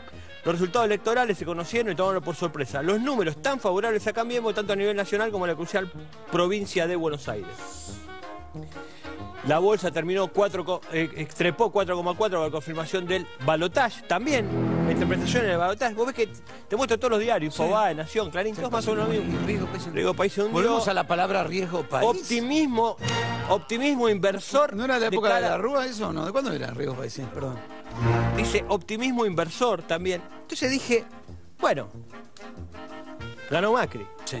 Supuestamente ahora habrá explotado. Claro, obviamente. La ¿Cómo bolsa, la obviamente, porque si, Los empresarios, si todo como solo que llegó al balotaje, la bolsa trepó. Vamos a ver qué pasó con la bolsa el día después del triunfo de Mauricio Macri. ¿Sí? El resultado ¿Cómo no lo electoral no convence al mercado. Las acciones de Argentina en Wall Street caen hasta el 16%. O sea, esto es lo que pasó. Entonces ahí lo que tienen que hacer es acomodar la explicación. Es muy gracioso Por ahí porque Macri es muy de izquierda. la verdad que no sé por qué escriben. Directamente tendría que poner los resultados y listo. Digamos, como te ponen la quiniela, ¿viste? Sí. Bueno, salió 23. Pero no sé. Rodero se levanta la mina hablando de, de economía. Capaz que hay alguno. Dice, dice, se da debido a que Macri no ganó por tanta diferencia. En realidad lo que hacen es acomodar en general. En estas páginas dice la bolsa cayó, fuerte derrumbe que abrió el, mer- el mercado. Se- la rueda se manifestó muy volátil. El, el Merval abrió asista. En realidad, todo piripipí. Ajá. Lo que hacen es acomodar el título a lo que ellos quieren decir. Nada más. No. Hay, poco, hay muy poco de cierto. Hay muy poco. Ah, ¿Sí? Roberto. Mis amigos, ¿cómo les va? Roberto, bajamos, ¿verdad, Roberto? Bajamos. Bajaron del cielo un Perdón, ratito. esa, esa nube negra, esa mancha negra es el profe Romero, Roberto. No, no es una ¿Te veo mancha negra, no, no, no, no Pero es que- una no, mancha. no le mintamos más a la gente, Roberto. El único precio de bolsa que le importa es el de la Sabol en el conurbano. Digámoslo, Roberto. Roberto, esto, información que no es certera y fidedigna, ¿no? ¿Qué? Digo, no es certera ni fidedigna. Domero, lo indultamos de todo. Tenemos un ministerio para ofrecerle. Ministerio de brutismo y analfabetismo, ¿no? Va a ver que ya lo abierto. Para el profe, Roberto. Bueno, ya tiene. asumen los donos, ¿no? Co- Cote dice. Conte. Detrás de la noticia, doctor Romero. Qué cosas. Código, mucho código. Muy huevo, loco. Muy, Cuidado pero porque usted me- Igual- me saca esto y se nos cae el 90% del cable. Se cae. Esto es fundamental en cualquier programa de cable. ¿viste? Importantísimo estar acá. ¿Sabe por qué están las cortinas estas acá, Peti? ¿Por qué? No, no. Pregunto, si no sabe, no se lo Debe pienso ser un toque de entrecasa del pro. No sé, no se lo voy a, no se lo voy a decir. Bueno, vamos a ver un poco. Bueno, la mayoría de los diarios, eh, la portada principal, por supuesto, tuvo que ver con la, con la elección en la ciudad de Buenos Aires. Y eh, fue a las portadas. Fíjate, por ejemplo, La Nación y vamos a ir un poco a, a cuál fue el hilo, mayormente de La Nación, Clarín, etcétera. Eh, la Nación, contundente victoria de la reta, Pro sacó 47 y medio y Ecos quedó segundo. La mayor parte de la etapa tiene que ver con el triunfo del Pro en la ciudad de Buenos Aires. Vamos a ver más o menos eh, cuál fue el análisis de los principales periodistas de los Hoy medios. se dice, se dice la lectura. La lectura, vamos a ver. ¿Cuál es la lectura? O sea, se desnudate. Fíjate, me te sale bien la voz del, ¿Cuál es del la- macrismo del PRO, ¿eh? ¿Cuál es la lectura que hacemos Ahí de está, todo esto? genial. Es una mezcla entre Michetti y Mauricio. Muy bien, te ¿cuál es la felicito. lectura? Bien. Sí. Fíjate, una demostración inusual de poder, por ejemplo, dice Pani. Otro analista, un triunfo todo de Macri. ¿Qué más? Por ejemplo, administró la sucesión. Marco Novare, bien. Marcos Novaro. Y, por ejemplo, Macri ganó por partida doble. Más o menos por acá anduvieron lo- los principales analistas de estos medios. Ahora, yo quise comparar con alguna, o alguna otra situación cuando no era Macri protagonista, pues sabemos la simpatía que tiene en general por Macri, pero digo, capaz que es. Capaz que uno cree eso y en realidad cuando va al lugar dice, no, la verdad que no, tienen razón, fueron bastante equilibrados.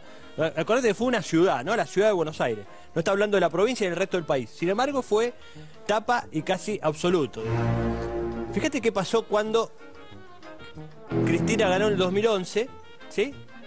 53,8, en realidad fue más de 54, en ese momento 53,8. En- Un triunfo en todo el país, una elección nacional, no una elección de una, de una ciudad. Vamos a ver qué es lo que decían los analistas y vamos a tratar de comparar un poquito. Por ejemplo, Cristina empezará su nuevo mandato con una concentración de, po- de poder sin precedente de la, de la vuelta a la democracia. Se empiezan a hablar de eso. Concentración de poder, peligro. ¿Más de lo mejor o más de lo peor? También una duda. Fíjate, acá nadie habla que pueda haber un riesgo No, con es eso, verdad. ¿no? Todo es un triunfo, administró la sucesión, muy bien, una demostración inusual de poder. Más de lo mejor Podrían haber o más de, más de lo lo peor más de lo peor porque total, el pro ya está, ya por- estaban. Exactamente. Por ejemplo, el gran desafío, una hegemonía sin exceso. Ya están hablando de la posibilidad de una hegemonía. ¿Sí? Esto no tiene nada que ver. Bueno, ante una democracia carente de equilibrio. Ya no hay equilibrio. Si gana Macri es genial. Es un triunfo todo de Macri, eso está muy bien. Pero si gana Cristina, ¿ves? Corresponde este día, este análisis, dice una democracia carente de equilibrio. Si gana Cristina, Y bueno, porque está ganó con todo un mal. 53,8, no había casi equilibrio. Y acá también se conseguido todo el poder, ahora debe despejar las incertidumbres. ¿eh? Acá hay incertidumbre. Cuando habla acá, Mirá no, todo lo que te sucesión. A mí me llegan a pedir todo esto y yo acabo de asumir con un 53,8. Pero te, pero te Por vuelo la cabeza un favor. botellazo. Digo, callate que más el rancho. Ahora, gané con un 54, callate la boca. Ahora vamos a lo, vamos a lo importante, Pero a Roberto. Vamos a lo importante. Un tema que me preocupó mucho, me puso muy. Y a vos también te va a preocupar, seguramente. Fiesta ruidosa. Una carta de electores, ¿viste? La Nación le elige cuatro o cinco cartas de electores. Recibe cada día, no sé, poner 10.000 entre las cartas de 10.000, electores. pero esta ser la me- le eligió esto le pareció importante. mejores, obviamente. Dice, fiesta ruidosa. Fue un mal debut para la señora Cheliné. Karina, la vecina de Karina. 10.000 Soy una vecina de su nuevo barrio y una víctima entre muchas de su desconsiderado festejo de inauguración de su nueva casa ahora en Barrio Parque. La noche del jueves los vecinos no dormimos hasta las 6.30 de la ¿De madrugada. Jelinek es? Sí, Karina Jelinek, la señora Jelinek. Me confundo chica- con la otra, no sé si Jelinek o, o la, o la Cipolitaki. ¿Cuál es? Negro, ¿pero qué tal? Dice, dice que la música de marcha a todo volumen, luces de todos colores impidieron el descanso de los que vivimos Sí. de día, la gente que ¿cómo trabaja. Pobre, muy, muy preocupado el día de la Nación por el problema de Karina Jelinek. Una última, agárrate, Betty. Ah, bueno, hace... Flavio Azaro, hace dos años tuve sexo en el planetario. Qué lindo. Genial, qué linda foto esa. Qué lindo, Hay que estar, eh, hay, hay Le que- agradezco. Por Doctor. Romero con nosotros, muchísimas gracias.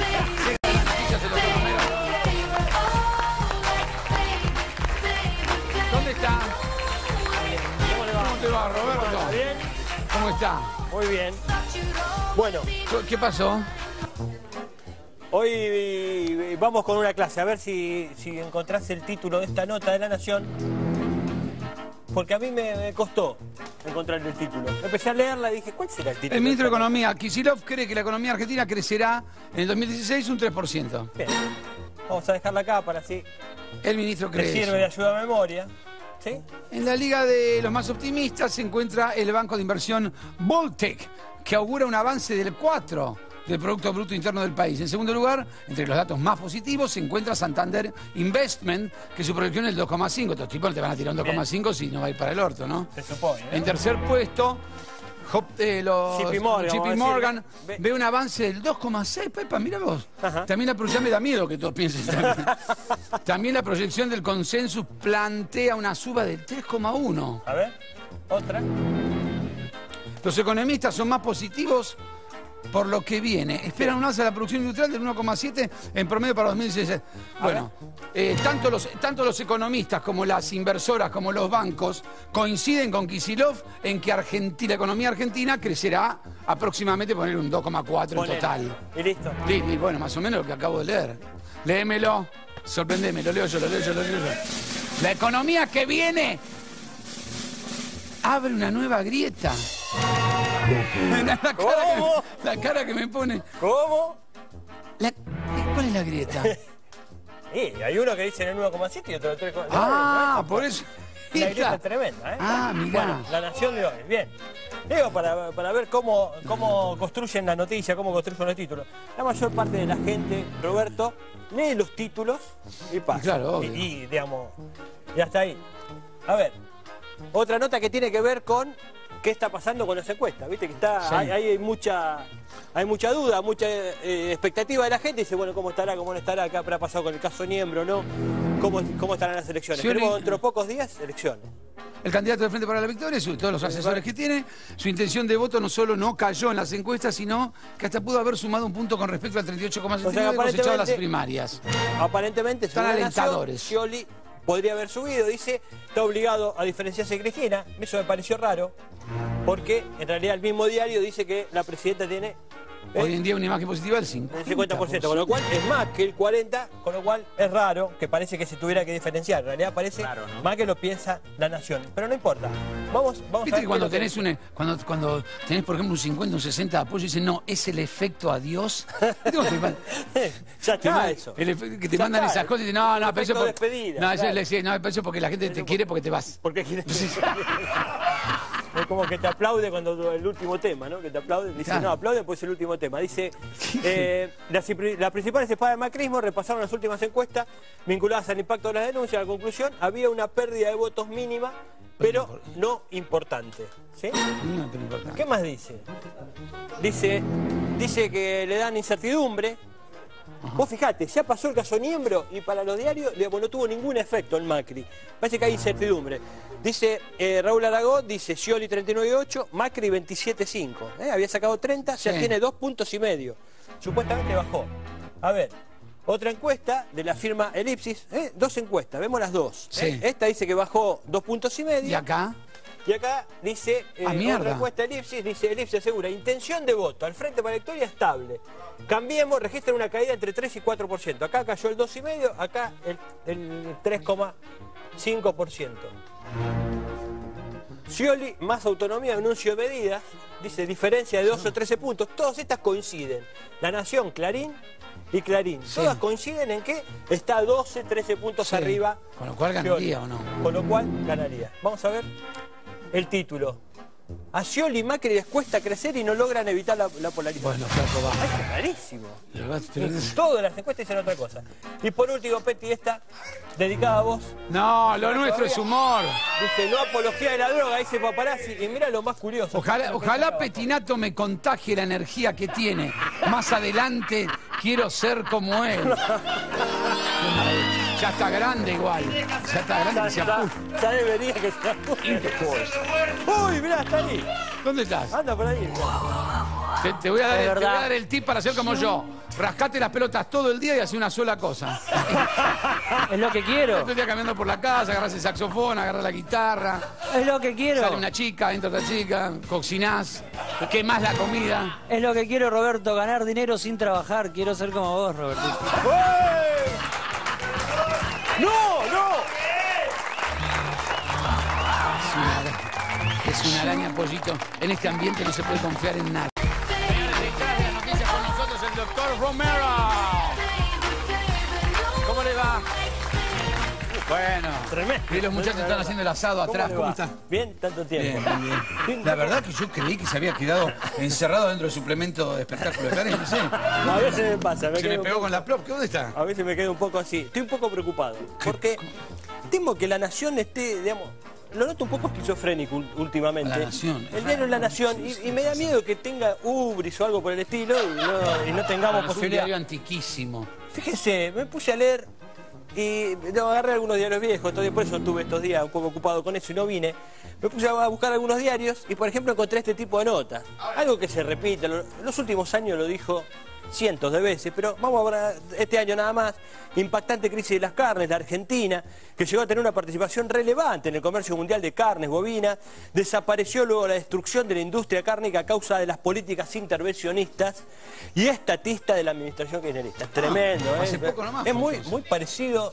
Esto, esto no están escritos por Martínez de O, pegan el palo, ¿eh? porque es muy parecido a lo, que, a lo que siempre decía Martínez de O. Pero bueno, vamos a seguir. Carne argentina, es julio. Esta otra era de mayo. Le voy a dejar cerquita, mayo. Julio. Carne argentina, un clásico en extinción. ¿Sí? Seguimos, julio. A ver, 24 de julio. La rural profundiza sus críticas y asegura que el kirchnerismo es el peor gobierno para el campo en 200 años. Mirá, eh, hay que ir a 200 años para atrás. 200 ¿eh? ¿Y quién No estaba hay 200 cosa- años atrás? Iván, por no favor, cosa, busca. profesor, ¿Quién está? 2015, 1815, ¿no? Desde ahí para acá. Imagínate, a ver. 2 de julio, la rural dice que el campo atraviesa la peor crisis de la última década. Bueno, Esto bueno, es la no lo última que- década. no lo mismo que 200 años. pero por ahí andamos. Ahora, fui a leer esto es 2 de julio. ¿eh? ¿Viste lo que leí? Julio, 24 de 24 de julio, 26 de julio, mayo. Se agarró el a- ataque de la carne. Fui a agarrar 22 de agosto. Todos los días hablando de la carne. En junio la, la economía creció el 3,8%, el campo es el peor momento, fíjate. Por ejemplo, pesó fuerte en junio la recolección, un mes antes, la recolección de la cosecha de soja, con 61 millones de toneladas, por sobre los 53 millones de la campaña anterior. ¿Cómo se entiende? O sea, aumentó, en un año aumentó el 20% la producción. Si fuera que hace 10 años la peor política, si en los 200 años lo peor que hay, parece raro que la gente vuelva a invertir en lo mismo, vuelva a poner guita y subir, como subimos, eh, todos los años, esto que está subiendo. Esto es del diario Clarín, del 22 de agosto. O sea, no es que... No estoy buscando algo que uno dice, bueno, lo dijo este, lo dice mentira. No, el 20%. Y sigo. Y sigo buscando. A ver. Y veo La Nación. 31 de agosto. ¿Eh? ¿Qué día es? 31 de agosto. Sí, hoy. Voy, suplemento de negocio. A mí me gusta ver eso para ver cómo, cómo estamos, en dónde invertir. Dice cómo preservar el valor de los pesos. Ocho recetas para invertir en tiempo de tormenta y conservar el poder adquisitivo. Entonces empiezo a leer. Es el diario La Nación, ¿eh? Sí. De hoy. Dice. Si, si se o sea, mira- apostar a la soja. Me imagino Si se decir, mira al no, no, no. campo- Si el ca- ¿Lo mejor es apostar a la soja? Sí, pero yo venía leyendo todo esto, ¿no? Eso, Carne argentina en extinción, levantado. campo 200 años, crisis de la carne, impactante crisis de la carne. Se fue a la mierda la Si carne, mira pongamos la campo- soja. Si se mira al campo, ¿qué dice? A ver, lo mejor Si se mira al campo, lo mejor es apostar a la ganadería. a la ganadería. ¿Qué decía acá? Impactante crisis de la carne. ¿Vos te entendés lo que dice el diario cuando opina? Cuando opina el diario dice que impactante Pará, pará, crisis de la carne, está sí. todo Con los mal. precios de hoy, la cría es un negocio de 35% de rentabilidad anual. En cuanto O sea, que puede dejar un 40% de retorno. Un 40% de Pero me retorno. compro la A ver, vaca, no me, no me- Lo pongo de nuevo. Me compro una ternerita. A ver, voy de nuevo, ¿no? Para entender. Fíjate, Sí, todo de mayo, impactante toda crisis una de la mierda. carne. ¿Sí? 31 Desapareció, destrucción. Una vergüenza todo. Y cuando vas a ver, sí, bueno, ¿qué puedo hacer con la guita? La nación te dice. Ponela en la ca- Ponela en la ganadería. Fíjate, carne argentina, un clásico en extinción. Peor Los gobierno para el 200 campo, ¿sí? La peor crisis de la última década. Y después vemos estas dos. Que el 20%, se- el 20%, ¿sabes lo que crecer el 20% en una economía? No sé, sí existe que en el mundo que se crezca el me restó 20%. el 40 de retorno y el ya 40% de retorno. Bueno, O sea, con eso entendí. seguimos hablando de la, de la esquizofrenia que me parece interesante. Fíjate esto también. Este también, Diario de la Nación, dice, Rossi la hija del ministro, dice, cursó solo seis meses de doctorado en Italia, abandonó. La hija del ministro de Defensa logró un título intermedio, pero no un máster, dice acá. No un hámster. No un máster. No un máster. Voy, voy a ver la nota y dice, la hija del ministro, ¿eh? Sí. En el Obtuvo primer párrafo, Obtuvo- obtuvo un máster. en Pero no está diciendo acá, no, acá dice, que pero no un máster. Y acá dice. La misma nota. Ob- ah, en la misma nota lo La obtuvo. misma nota, Pero la siempre misma los nota. títulos te va para el orto en estos diarios. No, hay- no tienen que tener títulos. ¿Cómo se llaman en los títulos? Es una cosa insólita. Bueno, nos vamos. Te dejo la última. Ay, Para vos. qué linda pregunta para mí. Susana Romero. Susana Romero, la Lobituki. Susana Romero y su anécdota con el gran artista. Con Dalí. Con Salvador Dalí cuenta ella que... Dalí me quiso pintar, Dalí. pero dijo que mi culo no daba el tamaño. Por favor. Pero favor. Gracias Gracias. Romero. Fuerte el aplauso, señoras y señores, para presentar al Justin Bieber de Morón, el señor Javier Romero. Bien, Bueno, vamos a ver un poco un detrás de las noticias internacionales. Bien. Atención. Bien. Vamos a ver un poco cómo fue tratado. eh, aquí en Argentina hemos visto cómo se fue tratando el tema de la crisis en Venezuela. eh, muchísima, muchísimas horas de transmisión, sobre todo de algunos canales, sobre el tema de la crisis de Venezuela. Pero vamos a ver cómo fue tratada en los medios internacionales. Bien, a ver. Eh, sobre todo por, por alguna curiosidad que tiene que ver con qué imágenes se fueron usando sobre todo esto. ¿no? Acá vamos a ver el diario Las Américas, Estados Unidos, y, eh, las imágenes de la represión durante la marcha del 12 de febrero. 12F es la marcha Ponen a en Venezuela. a- a una joven estudiante. ¿no? Dice, ciento efectivos de la Guardia Nacional y policías actuaron el día que los jóvenes salieron a manifestar. Bien. Vemos a, a esta chica. Vamos a ver eh, de dónde sacaron a... Vamos a, a mover acá. Vamos a ver de, de dónde sacaron las imágenes. A ver, vamos a ver acá. Diario ABC. Vamos a empezar. ABC. Este es el diario monárquico ABC de España. español. Sí, el ver, venezolano, Fíjese, la, ah, la, la foto para graficar, ¿no? Para ilustrar esta nota, ¿no? Sí. Bien. Fascismo puro y maduro. Y la foto parecía conocida. Sí. La foto ¿Qué parece pasó? que remite supuestamente a Venezuela, ¿no? Supuestamente Venezuela está hablando bien. bochinche venezolano. El ¿eh? bochinche venezolano. ¿Eh? Bien. Este es uno de los Este es diarios un- más vendidos de España. Es el segundo diario el más importante. Es el de- país de España, después viene el ABC. El ABC, es un diario como La Nación, podríamos decir. Exactamente. Bueno, vamos a ver, fíjate, buscamos The Guardian, 18 de diciembre de 2011, ¿sí? Imágenes de una mujer detenida por los Esto no militares es algo, a ver, aclaremos, esto no es algo que armó eh, eh, el, el profe, ¿no? Eh, Claramente, sino que esto es lo, lo que salió en el ABC. Esto salió en el ABC y esto es lo que salió, de dónde salió la imagen. Esto es una manipulación una manipulación absoluta. de los lectores, claramente. ¿no? Me imagino que habrán pedido disculpas por eso, ¿no? Por ahora no, no apareció ninguna La disculpa. CNN también, ¿no? Está involucrada en esto. La. CNN, la mayor parte de los, de los Sí. medios se ve involucrado, sobre todo por, eh, digamos, no solo por esto, sino también por el, el uso de Twitter. Eh, digamos, esa herramienta que es tan efectiva a la hora de informar, etcétera, también es vehículo de manipulaciones varias y muchas veces los medios, por eh, acción o por omisión, usan esa foto que en muchos casos son falsas. Eh, como la que En- en mostramos muchos recién. muy- Vamos- en vamos muchos muy evidente, ¿no? Está buenísimo lo que está haciendo el profe. ¿eh? Esta, esta es el diario. Las Américas, un diario Esta es muy la que importante mostramos de recién. Miami, la que Acá mostramos vemos una, una, una joven, ¿no? Detenida por la policía, haciendo referencia a la situación en Venezuela. Bueno, acá en este caso, eh, yo estuve buscando la foto. La foto. Eh, ¿Pero esa foto no es de Venezuela tampoco? No es de Venezuela. Eh, en- encontré la foto, pero estaba en, a- a- indexado en Google o en Taringa y no Sí. estaba y no estaba de dónde era. Eh, así que lo que hice fue digamos, uno algo que puede hacer cualquier persona en Que- su es- casa. es una que aplicación, ¿no? Sí, que es cuando uno va arriba de la foto, que encuentra una foto, cualquiera en, en internet, hace un, un clic con el botón derecho del mouse. Y ahí lo que aparece es eh, el lugar de donde sale la foto. La A ver. dirección, el URL se llama. Y es que la policía está deteniendo una eh, Dice, estudiante. policía detiene estudiante de protesta en Santiago de Chile. ¿eh? Este- Y, y en el URL claramente está de dónde sale. A o sea, si ninguna referencia a la situación que se estaba viviendo en Venezuela. Claro, acá ves, se cae el gobierno de Piñera, acá, lo, acá lo encontré, la foto, fui a buscar. A ver y- si se entiende. Para ilustrar ponen la represión en Chile y la represión O la represión en Egipto. En Egipto, hasta ¿Ves ahora, estos es, dos casos. Es una nota, ¿ves? Se, eh, doble- eh, a ver, vamos a, a tratar de marcarlo, a ver si se Sí. ve, si se puede ver. Sí. Pero es el país. ¿eh? Ah, pero el diario El País protesta, es una protesta del 2008, ¿no? Una, Bien. una manipulación. ¿Otro A caso ver, más? Vamos, vamos a seguir Está viendo. muy bien esto, ¿eh? está muy bueno. Vamos, vamos atrás. Vamos a seguir viendo. Bueno. Vamos a ver esta, a ver. Acá hay otra. Tú y yo somos venezolanos, mi pana. Lo que te decía de Twitter. Esta es emocionante, ¿no? Esta es muy Esta- emocionante esta también. la emoción, ¿no? Una joven llorando, agarrando con Vos sus fijate, manos- 1666 retweets. Bueno, y esto también. A ver, ¿esta foto tampoco de Venezuela? Esa foto también es. eh, ay, a ver, no la, no la encuentro acá ahora, pero. Ahí está. Esta sí. No es de, no es de, no es de Venezuela. A ver. Esta. Esta no, no es de Venezuela tampoco, es otra, es otra imagen tomada. Después, por ejemplo, acá también vemos esto es Venezuela, Hospital Central de Maracay, de qué revolución hablamos. eh, Y a ver, chicos está hablando canastos con, con chicos recién Sí, y nacidos. cajas de cartón.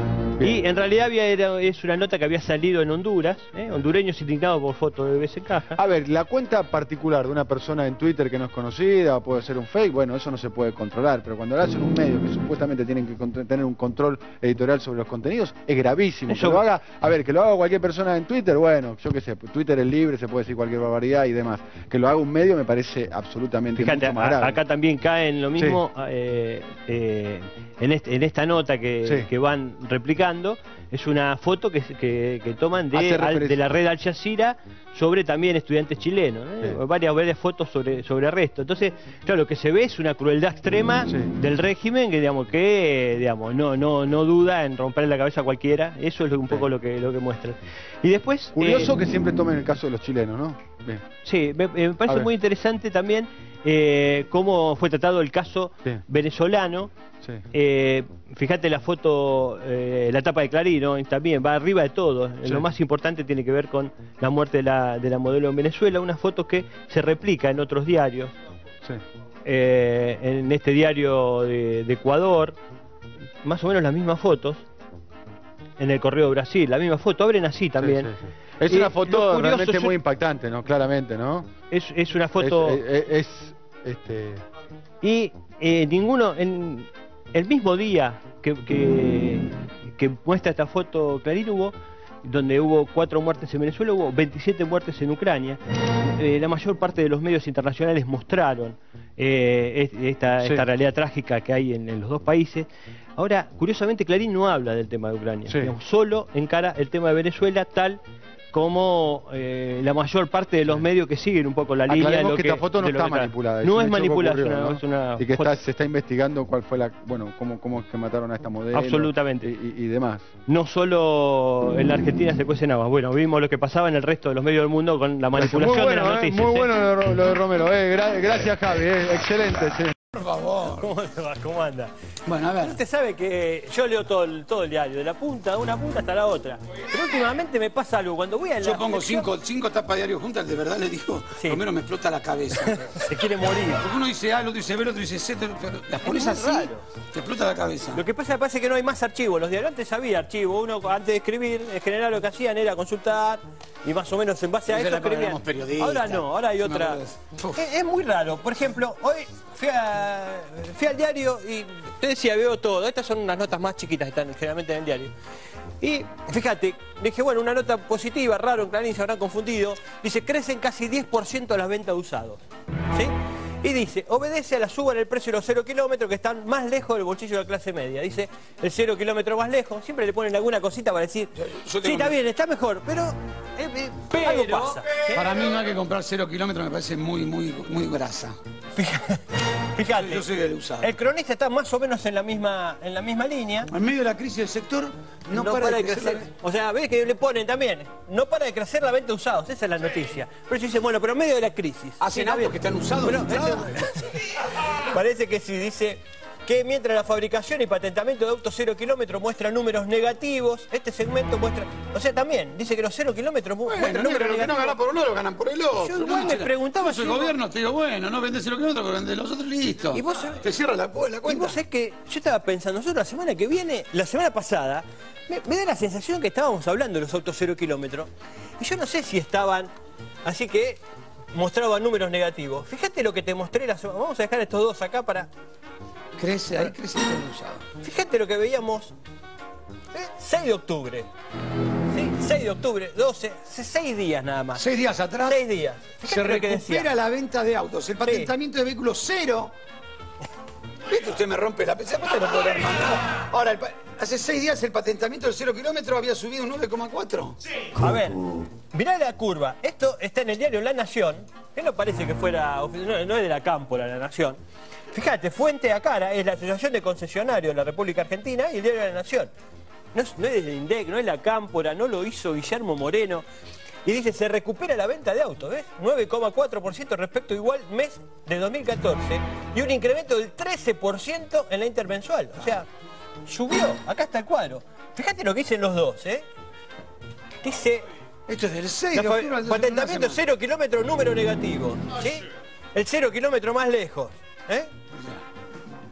Las dos Sí. notas, y acá dice otra cosa. Bueno, vamos a otra. Dije, Otra. bueno, vamos a ver otras notas Vamos de economía. Capaz que justo en esa se confundieron, se equivocaron casualmente para poder pegarle al gobierno. Entonces me fui a ver cómo, digamos, cuáles eran los pronósticos del año. ¿Qué nos vinieron diciendo durante el año? Fíjate, en febrero del 2015 ya decían, consumidor 2015 entre el ajuste y la resignación. O sea, en febrero no de va este a ir, año. No va a ir para atrás. Estaba resignado y... No va a ir para atrás, ¿sí?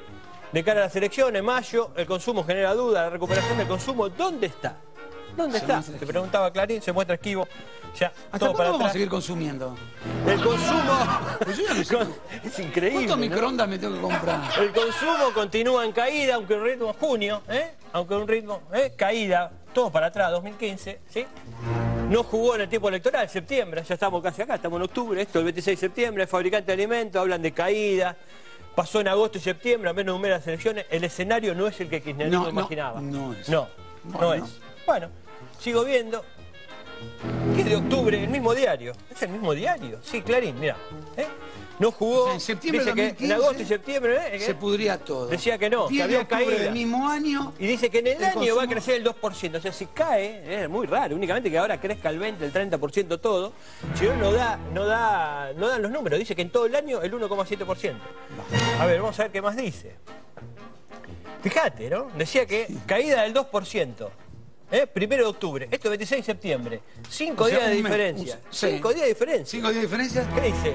En agosto las ventas de supermercados tuvieron un incremento del 10%. mientras que en los shopping... El 21%. Y acá dice que caídas del 2%. No dice la quién gente lo que dice. compra en shopping agendas. No dice quién lo dice. ¿eh? Compran agendas 2016. Dice, dice, hay fabricantes de alimentos y supermercados que hablan. No dice nunca quiénes son. ¿eh? Cuando hay números, dice esto, incremento del 10 y el de 20. Fíjate, cuando aparecen los números también, ¿eh? suben la venta, comercio minorista, también Fuente Came, ¿eh? la coordinadora de actividades mercantiles, y La Nación. Tampoco, no ni Guillermo Moreno, ni La Cámpora, ni nada. 2,4. Y fui a ver qué pasó en este fin de semana. Los números van a estar mañana recién, pero por lo Los pronto. turistas dice- gastaron 1.300 y pico de millones en el fin de semana largo. Sí, claro. Dice, las ventas vinculadas al, al turismo crecieron el 1%. Ahora mirá cómo animaba la nación para este fin de semana. Mirá qué, qué- qué buena onda. Un fin de semana largo para quedarse en la cama.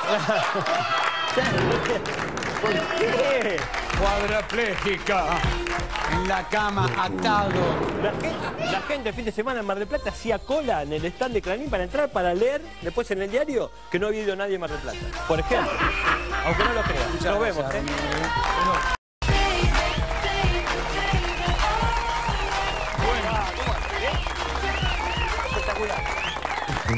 No le voy a preguntar quiénes somos, ni qué queremos como país, ni preguntas tan complicadas. A ver. No, pero me ¿Qué te parece, pasa? pero me parece interesante un poco como abrías hoy el programa, contaba. Bueno, Hoy estaba, hay un me, agarró, me como un ataque de furia. Lo que pasa es que, no sé, viste, te dicen, todo lo que digas te dicen, no, pero vos porque estás acá, vos porque estás allá, allá. Me tienen harto. Claro, Realmente estamos hablando de dos modelos de país. Y, y bueno, y se define cada cuatro años eso, así que está bien que se discute y se debata un poco.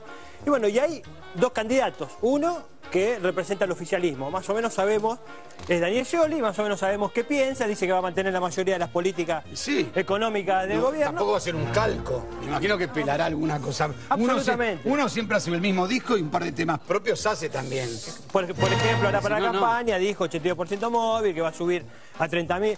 Pero bueno, lo que falta es escuchar un poco, porque el, el otro candidato es Mauricio Macri, que fue jefe de gobierno porteño, de un municipio. No se sabe bien cuál es el plan que tiene para el país desde el punto de vista económico. Y la verdad que no aparece prácticamente en el debate, no aparece en los medios. Apenas pude encontrarlo en una nota. Porque Barba dijo que no no hablar de nada. en La Nación, eh, 31 de octubre, un salto a la vereda que calienta el sol. Y acá encontré más o menos quién es el equipo económico. Me parece que a partir de ahí, de saber quiénes son los hombres que van a conducir la economía, uno puede imaginar cuál va a ser la política económica que van a seguir. Fíjate, dice, cambiemos discutido internamente algunas cuestiones. La última vez fue hace unas semanas en el Hotel NH Bolívar, donde se reunió todo el equipo económico. Viste que Scioli aparece con lo que es el gabinete, ya dijo, este va a ser mi ministro de esto, este el otro. Macri no aparece todavía con el gabinete, no sabemos quiénes van a ser. En principio el equipo económico, según La Nación, que tiene buenas fuentes en el macrismo seguramente, dice que está formado por Miguel Kigel, Carlos Melconian, Federico Stusenegger, Javier González Fraga, Rogelio Frigerio, Adrián Ramos y Alfonso Pratgay, entre otros. O sea, ahí lo que tenemos es 1, 2, 3, 4, 5, 6, 7 economistas que son los que están pensando y que seguramente uno de ellos se va a sentar en el Banco Central, otro en en el Ministerio de Economía, van a decir para dónde va el país. Vamos a ver quiénes son. Porque con eso nos va a permitir más o menos Es increíble imaginar. que... No, no, no. Lo gracioso es que desde un programa de televisión tengamos que decirle a la gente quiénes son. Eso es lo chistoso. Y, Porque lo, no lo- y lo patético. Porque no lo muestran, está, está absolutamente oculta. Esto aparece adentro de una nota de economía. Vamos a empezar a ver. Miguel Kigel. Kigel. ¿Sabes quién es Kigel? No, viste, uno no tiene idea, uno no se acuerda, porque bueno, van pasando los años. Fíjate, 15 de diciembre del 2001, Miguel Kigel, el candidato al que no le dieron opción para decir que no. Kigel dejará su cómodo cargo presidente del Banco Hipotecario para embarcarse como subordinado Domingo Cavallo, ¿sí? 2001. Y en la Nación está Sí, dicho. diciembre del 2001, Kigel. Pero todo ¿eh? termina en caballo. Subordinado de Domingo Cavallo. ¿Cuántos, cuántos hijos naturales tuvo Cabal? ¿Cuántos, cuántos bastardos tuvo? No se puede ¿Sí? creer. ¿Eh? Kigel, ahí tenés el primero. Vamos, vamos a seguir viendo. A ver. Lo voy a dejar por acá, cerca. Y vamos a ver. ¿Quién más dice? Carlos Melconian. Este es más conocido, Este porque aparece, claro, aparece más cuando- cerca de Macri. Cuando era desprolijo y peludo. me Claro, y ahora se afeitó, porque viste que les pidió a todos que se afeiten. Les hizo sacar el bigote a Todos se Mauri. sacaron el bigote. Todos, sáquense todo. Allí vos no tenés Yo mucho destino, ¿eh? te voy avisando que Yo no tenés en una- mucho destino. Porque estoy en una etapa de transición. Fíjate, ¿quién es Melconian? Dice el candidato a ministro de Economía de Menem. Claro, porque esta nota es también del 2001, mayo, no, del 2003. Cuando era la campaña. Dije la Él era el estaba candidato. yendo Menem, me apareció este como diciendo, hola, yo voy a ser ministro. Y Menem me dijo, no, yo ya me voy. Ah, bueno, bueno, yo podría haber sido el ministro. Eh, Pero- y según esta, nona- esta nota de Maximiliano Montenegro en página 12 del 2003, dice, fue uno de los principales responsables de legalizar el proceso de estatización de la deuda externa privada que dio Domingo Cavallo, otro hijo de Cavallo, mirá, otro más, como presidente del Banco Central de la dictadura. Era Melconian, jefe del Departamento de Deuda Externa. El joven Melconian archivó las investigaciones sobre fraude cometidos por multinacionales y grupos económicos locales, eh, locales con seguro de cambio a principios de los 80. O sea, el primero era Kigel, ¿sí? Mano derecha de Caballo. Este era el pollo de Caballo. eh. Y como De- pollo, mirá lo que cajoneó. Fíjate lo que hizo, lo que como pollo cajoneó eso. A ver, Melconian.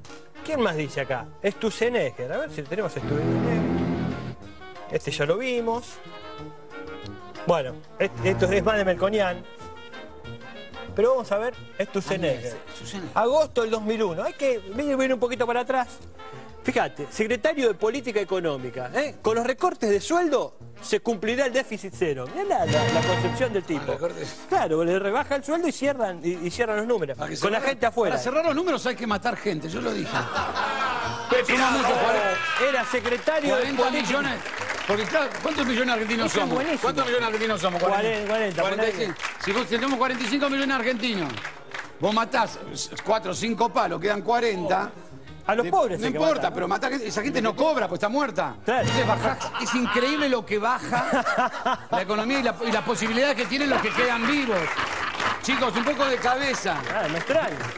Bueno, Riñones. mirá que te van a escuchar, ¿eh? hay gente que te va a estar escuchando. Dice, Stusenegger, ¿eh? secretario de Política Económica en el Sí, 2001. ya me causa gracia. la meta de que el Estado no gaste más de lo que recaude tiene que cumplirse sí o sí. Y dijo, si no están los recursos, la ley de déficit obliga al secretario de Hacienda a hacer los recortes necesarios para que se equilibre el presupuesto. No te la puedo. Ganan menos y ya está.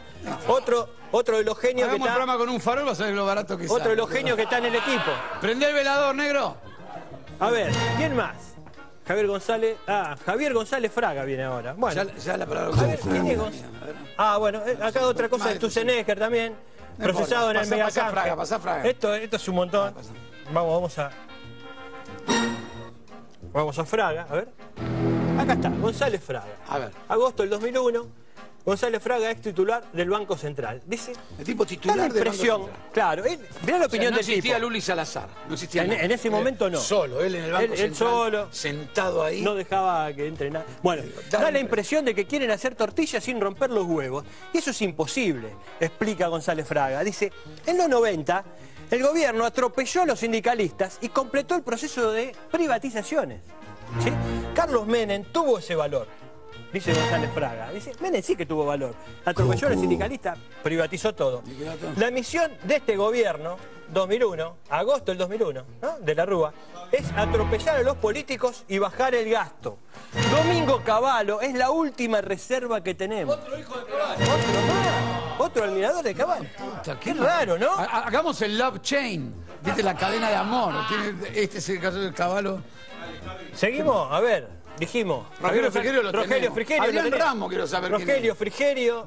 Nieto, ya, ministro de Economía, Roque Fernández, la cámara, la, la cara, la cabeza visible de los economistas, junio del 2002, de la Rúa, viste cómo, que nos fue genial. Cuando de la Rúa nos fue bárbaro, dice. También nos integran otros exfuncionarios, esperá. Rogelio Frigerio Nieto, ¿eh?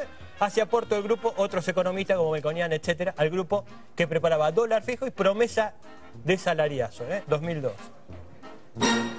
Prat Gay. Para el gay, sí, garantía de confiabilidad para los liberales, dice, en diciembre del 2002, ¿sí? Presidente del Banco Central, dice, el hecho de haber llegado al cargo de jefe de negocio el JP Morgan tranquiliza a la City. Claro, Sí, sí, bueno. en el MOR.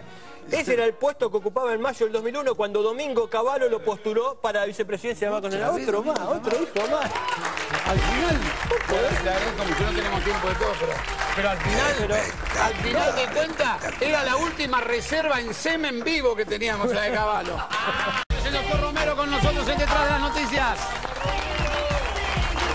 ¿Dónde está? Copa. Vino con papelito en mano. Dale, ponelo. Estaba escondido porque tengo un poco de miedo, ¿viste? Hay, hay mucho olor, hay olor a miedo, hay un ambiente de miedo. No se pueden hacer no preguntas. sé, Si usted nada. hace una pregunta, está creando miedo. Pero hay una elección ahora. No importa, no te puedo preguntar nada. ¿Pero cómo? Señor, usted quiere ser, pre- pero ¿por qué? ¿Qué va a hacer? Pregúnteme a mí, pregúnteme a mí. A ver, por ejemplo, Petirato, ¿qué piensa hacer con el dólar? El dólar, nosotros vamos a liberarlo para que la gente pueda tener el dólar que más le guste. Bien. ¿Qué va a hacer con las importaciones? ¿Va a permitir Bueno, bueno, ya, esa- indiscriminadamente? esa- ya, ya me está tosiendo. Ya eso Pero es una cosa elemental. Eso es presionar. Es una cosa Bueno, elemental. Eso es meter miedo. ¿Por qué? Meter miedo. Porque usted me está haciendo ¿usted quedar. Usted, me está haciendo quedar como que soy un tipo que no tengo la menor puta idea de lo que voy a hacer. Entonces usted me está haciendo quedar así, por lo tanto, me parece que me está, está haciendo, me, me está metiendo miedo a la gente diciendo que yo soy un boludo que no sabe Pero le nada. pregunté una cosa muy elemental. ¿Va a abrir la frontera? El ¿Va hecho de que usted diga que es elemental para usted me hace quedar como un pelotudo a mí. Pero Entonces está metiendo miedo. Bueno, le hago, bueno, le hago- Hágame otra pregunta. A ver, le hago, le hago la otra. pregunta. ¿Va a permitir la importación indiscriminada Bueno, si vamos a hablar así, si vamos a hablar así, entonces se ¿cómo quiere terminó el debate. Se, se terminó el debate. Si vamos a hablar así, no. no, Vamos, vamos a ver los diarios de hoy, Sí. Peti, entonces vamos a, a dejar la entrevista. Pensar Porque que esto es verdad, parece un sketch, pero es verdad. Vos, vos fijate, dice Tapa de la Nación, extienden a todas las áreas del Estado la campaña contra Macri. En todas las áreas. ¿eh? En cualquier área. Las comisarías, el- las escuelas. El tipo es un genio, es un genio incomprendido en realidad. Claro. El kirchnerismo mantiene sus ataques al candidato Cambiemos. Cambiemos. Hace circular versiones, ya hay versiones que no cuenta, que en realidad, bueno, de supuestos perjuicios en caso de que derrote a Scioli. No sabemos cuáles son. No sabemos Pero- nada. A ver, Clarín, hoy también. La polémica por la campaña sucia tensa el camino al, malo- al balotaje.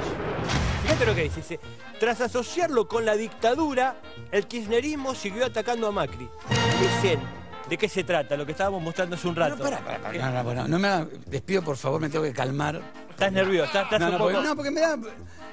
Esta vez lo vincularon con los 90. O sea, ¿Cómo esta vez? esta vez lo vincularon. Por favor, le pido a la gente. Pero si nació ayer Macri, ¿por qué? Pero, vos decís que estuvo de vincularon con los 90. ¡Qué barbaridad! ¿Cómo pudieron haber hecho esa maldad? Es como hacen un análisis y piensan a ver qué hizo, por ejemplo, en los 90, ¿no? Ah, Macri. Una barbaridad. Un ataque, eso es campaña sucia y es un ataque tremendo.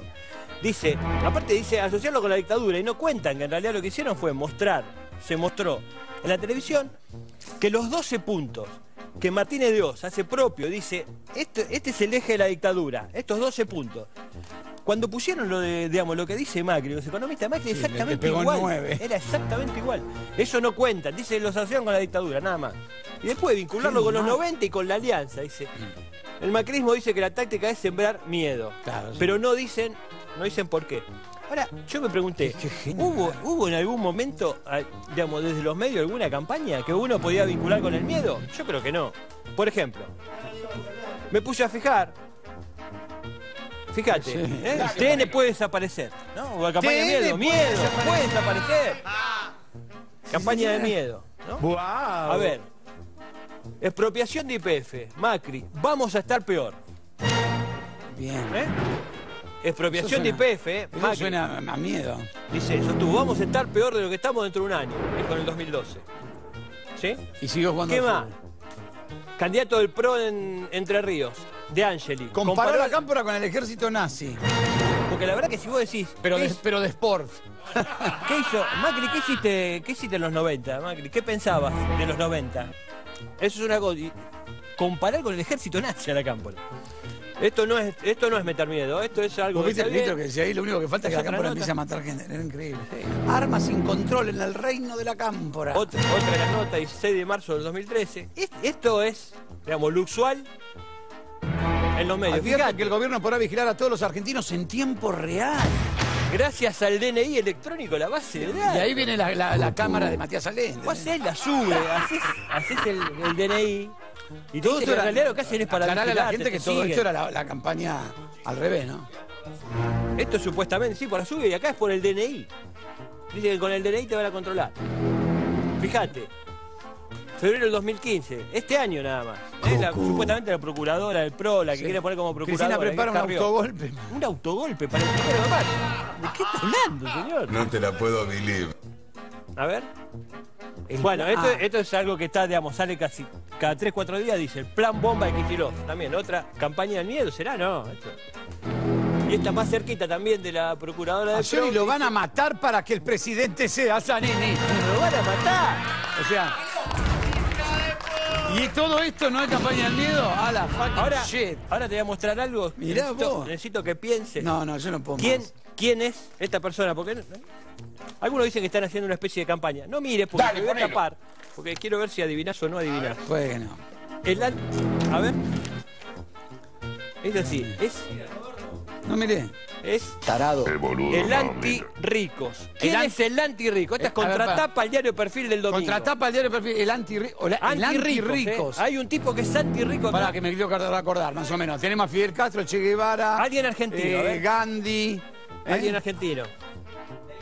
Del ca- bueno, del caño, la gente de izquierda por lo general. El pollo sobrero. Pollo sobrero debería ser ese, mira, antirrico no. ¿Quién es Vitrola? Sí.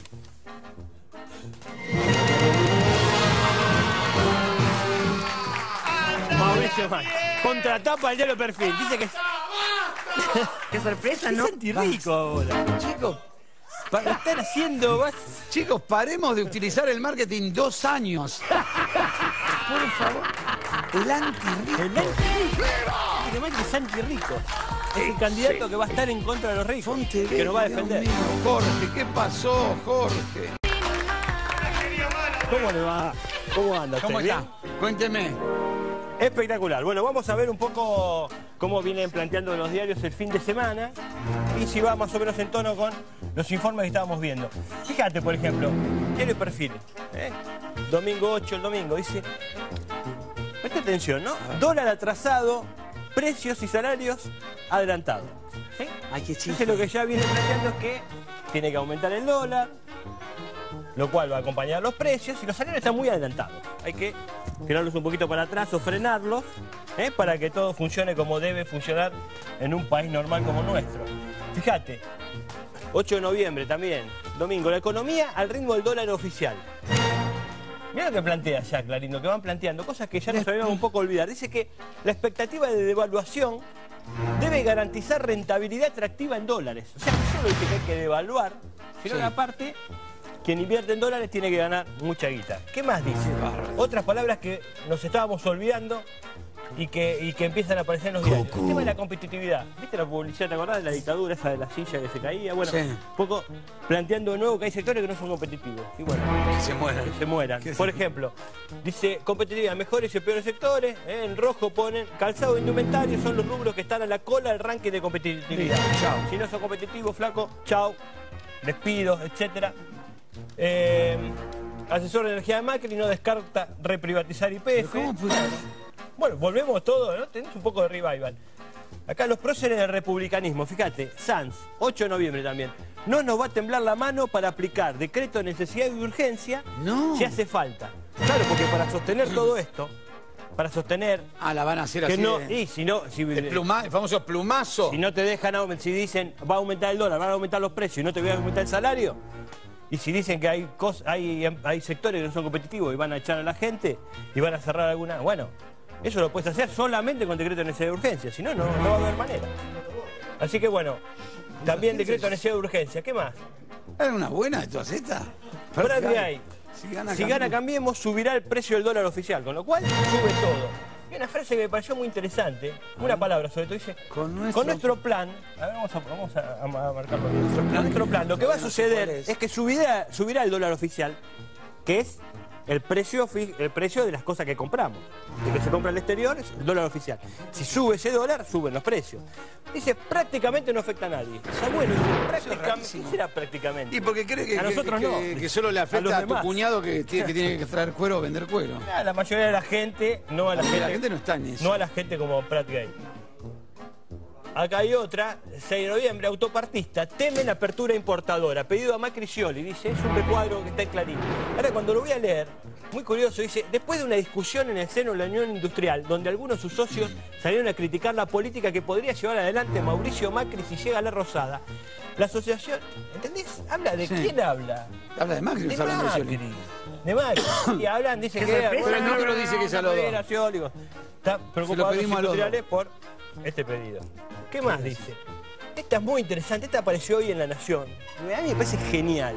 Dice populistas y ajustadores. Fíjate en qué basa. Esta es la nota de opinión más importante. El diario, viste, es bien grande, vos lo viste así, te encontrás con esto, así media página. Y dice, hay que desmitificar la concepción negativa que pretenden atribuirle ciertas fuentes al concepto, ya que ajustar, lo que está desajustado, es un proceso fundamental e imprescindible de cualquier sistema, tanto mecánico como social.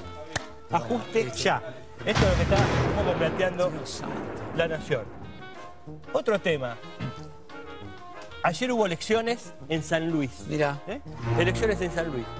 ¿Quién ganó la intendencia de San Luis? Enrique Ponce, ¿eh? del kirchnerismo, de Frente para la Victoria. Eh, ¿Cuánto sacó? 48-81, casi 49% de los votos, seguido por el representante de Compromiso Federal, que es el partido de Rodríguez Sal, 35%, y cambiemos el 9,69%. Me resultaba interesante para ver cómo había salido, cómo había salido eh, durante las pasos, ¿sí? durante la- las elecciones. Vos fíjate, vamos a ponerlo de este lado, porque este es más grande, así. Fíjate, Rodríguez Sá había sacado 36,30 Macri el 30. Macri, Scioli el 15. Fíjate ahora cómo el Frente para la Victoria va de 15, pasa al 48. 49%, ¿sí? Eh, y como Rodríguez Sá pasa de 36,79, parecido 35,23, y cambiemos, baja del 30 al 9,89. ¿sí? ¿Se No te lo la que puedo pasó? Ahora, pero no solo, no solo es Y curioso. entiendo lo que va a pasar también. No solo es curioso eso, sino también lo interesante es que no aparece la noticia, no aparece no solo, no aparece en la tapa del diario, como hubiera pasado con, con Sí. cualquier otra elección de estas características, sino que no aparece en todo el interior, ni de Clarín ni de La Nación. En todo el diario no aparece en, en ninguno de los dos diarios. A ver si lo encontramos acá cerquita. Nada, nada, nada, nada, cero, cero, cero, cero. Ni en la tapa, ni en el interior, que el triunfo de. Gracias por venir. Son provincias chicas con Son provincias chicas con poca gente. ¿Qué te pasa, baby? Detrás de las noticias. Doctor Romero. ¿Qué pasó? La consultora al final todavía no la pusiste. Te No, voy- porque Iván está con ¿Sabés un qué? tema. Está con un tema, está buscando un contador que pueda lavar guita, no sé, no, no sabemos cómo hacer. Te explico. Si la hacemos, la hacemos mal. Pero falta muy poco para, para el balotaje. No vale la pena. Yo te recomiendo otra cosa. Puedes poner. Para, y aparte, después faltan dos años para las otras elecciones, mucho tiempo. Pon una consultora. Una consultora. una consultora, no sé, poner un nombre. Aprox puede ser yo escuché, también. Yo escuché periodistas, Y- y- yo escuché periodistas diciendo, la verdad que no puedo creer las consultoras. Y, se- y va, a- va a seguir habiendo consultoras. Y el consultor dice- Eh, Van a seguir estando en las próximas elecciones, en las próximas cosas. Exactamente, todos los días sacan un informe, dice, bueno, según la consultora... Ah, Nosotros somos Aragón y Neón. Aragón y Neón. Fíjate, consultora Aragón y Neón. Fíjate, por Yo soy ejemplo, Neón. fíjate, por ejemplo, lo que pasa, eh, lo que pasa hoy, digamos, los datos que, que voy leyendo.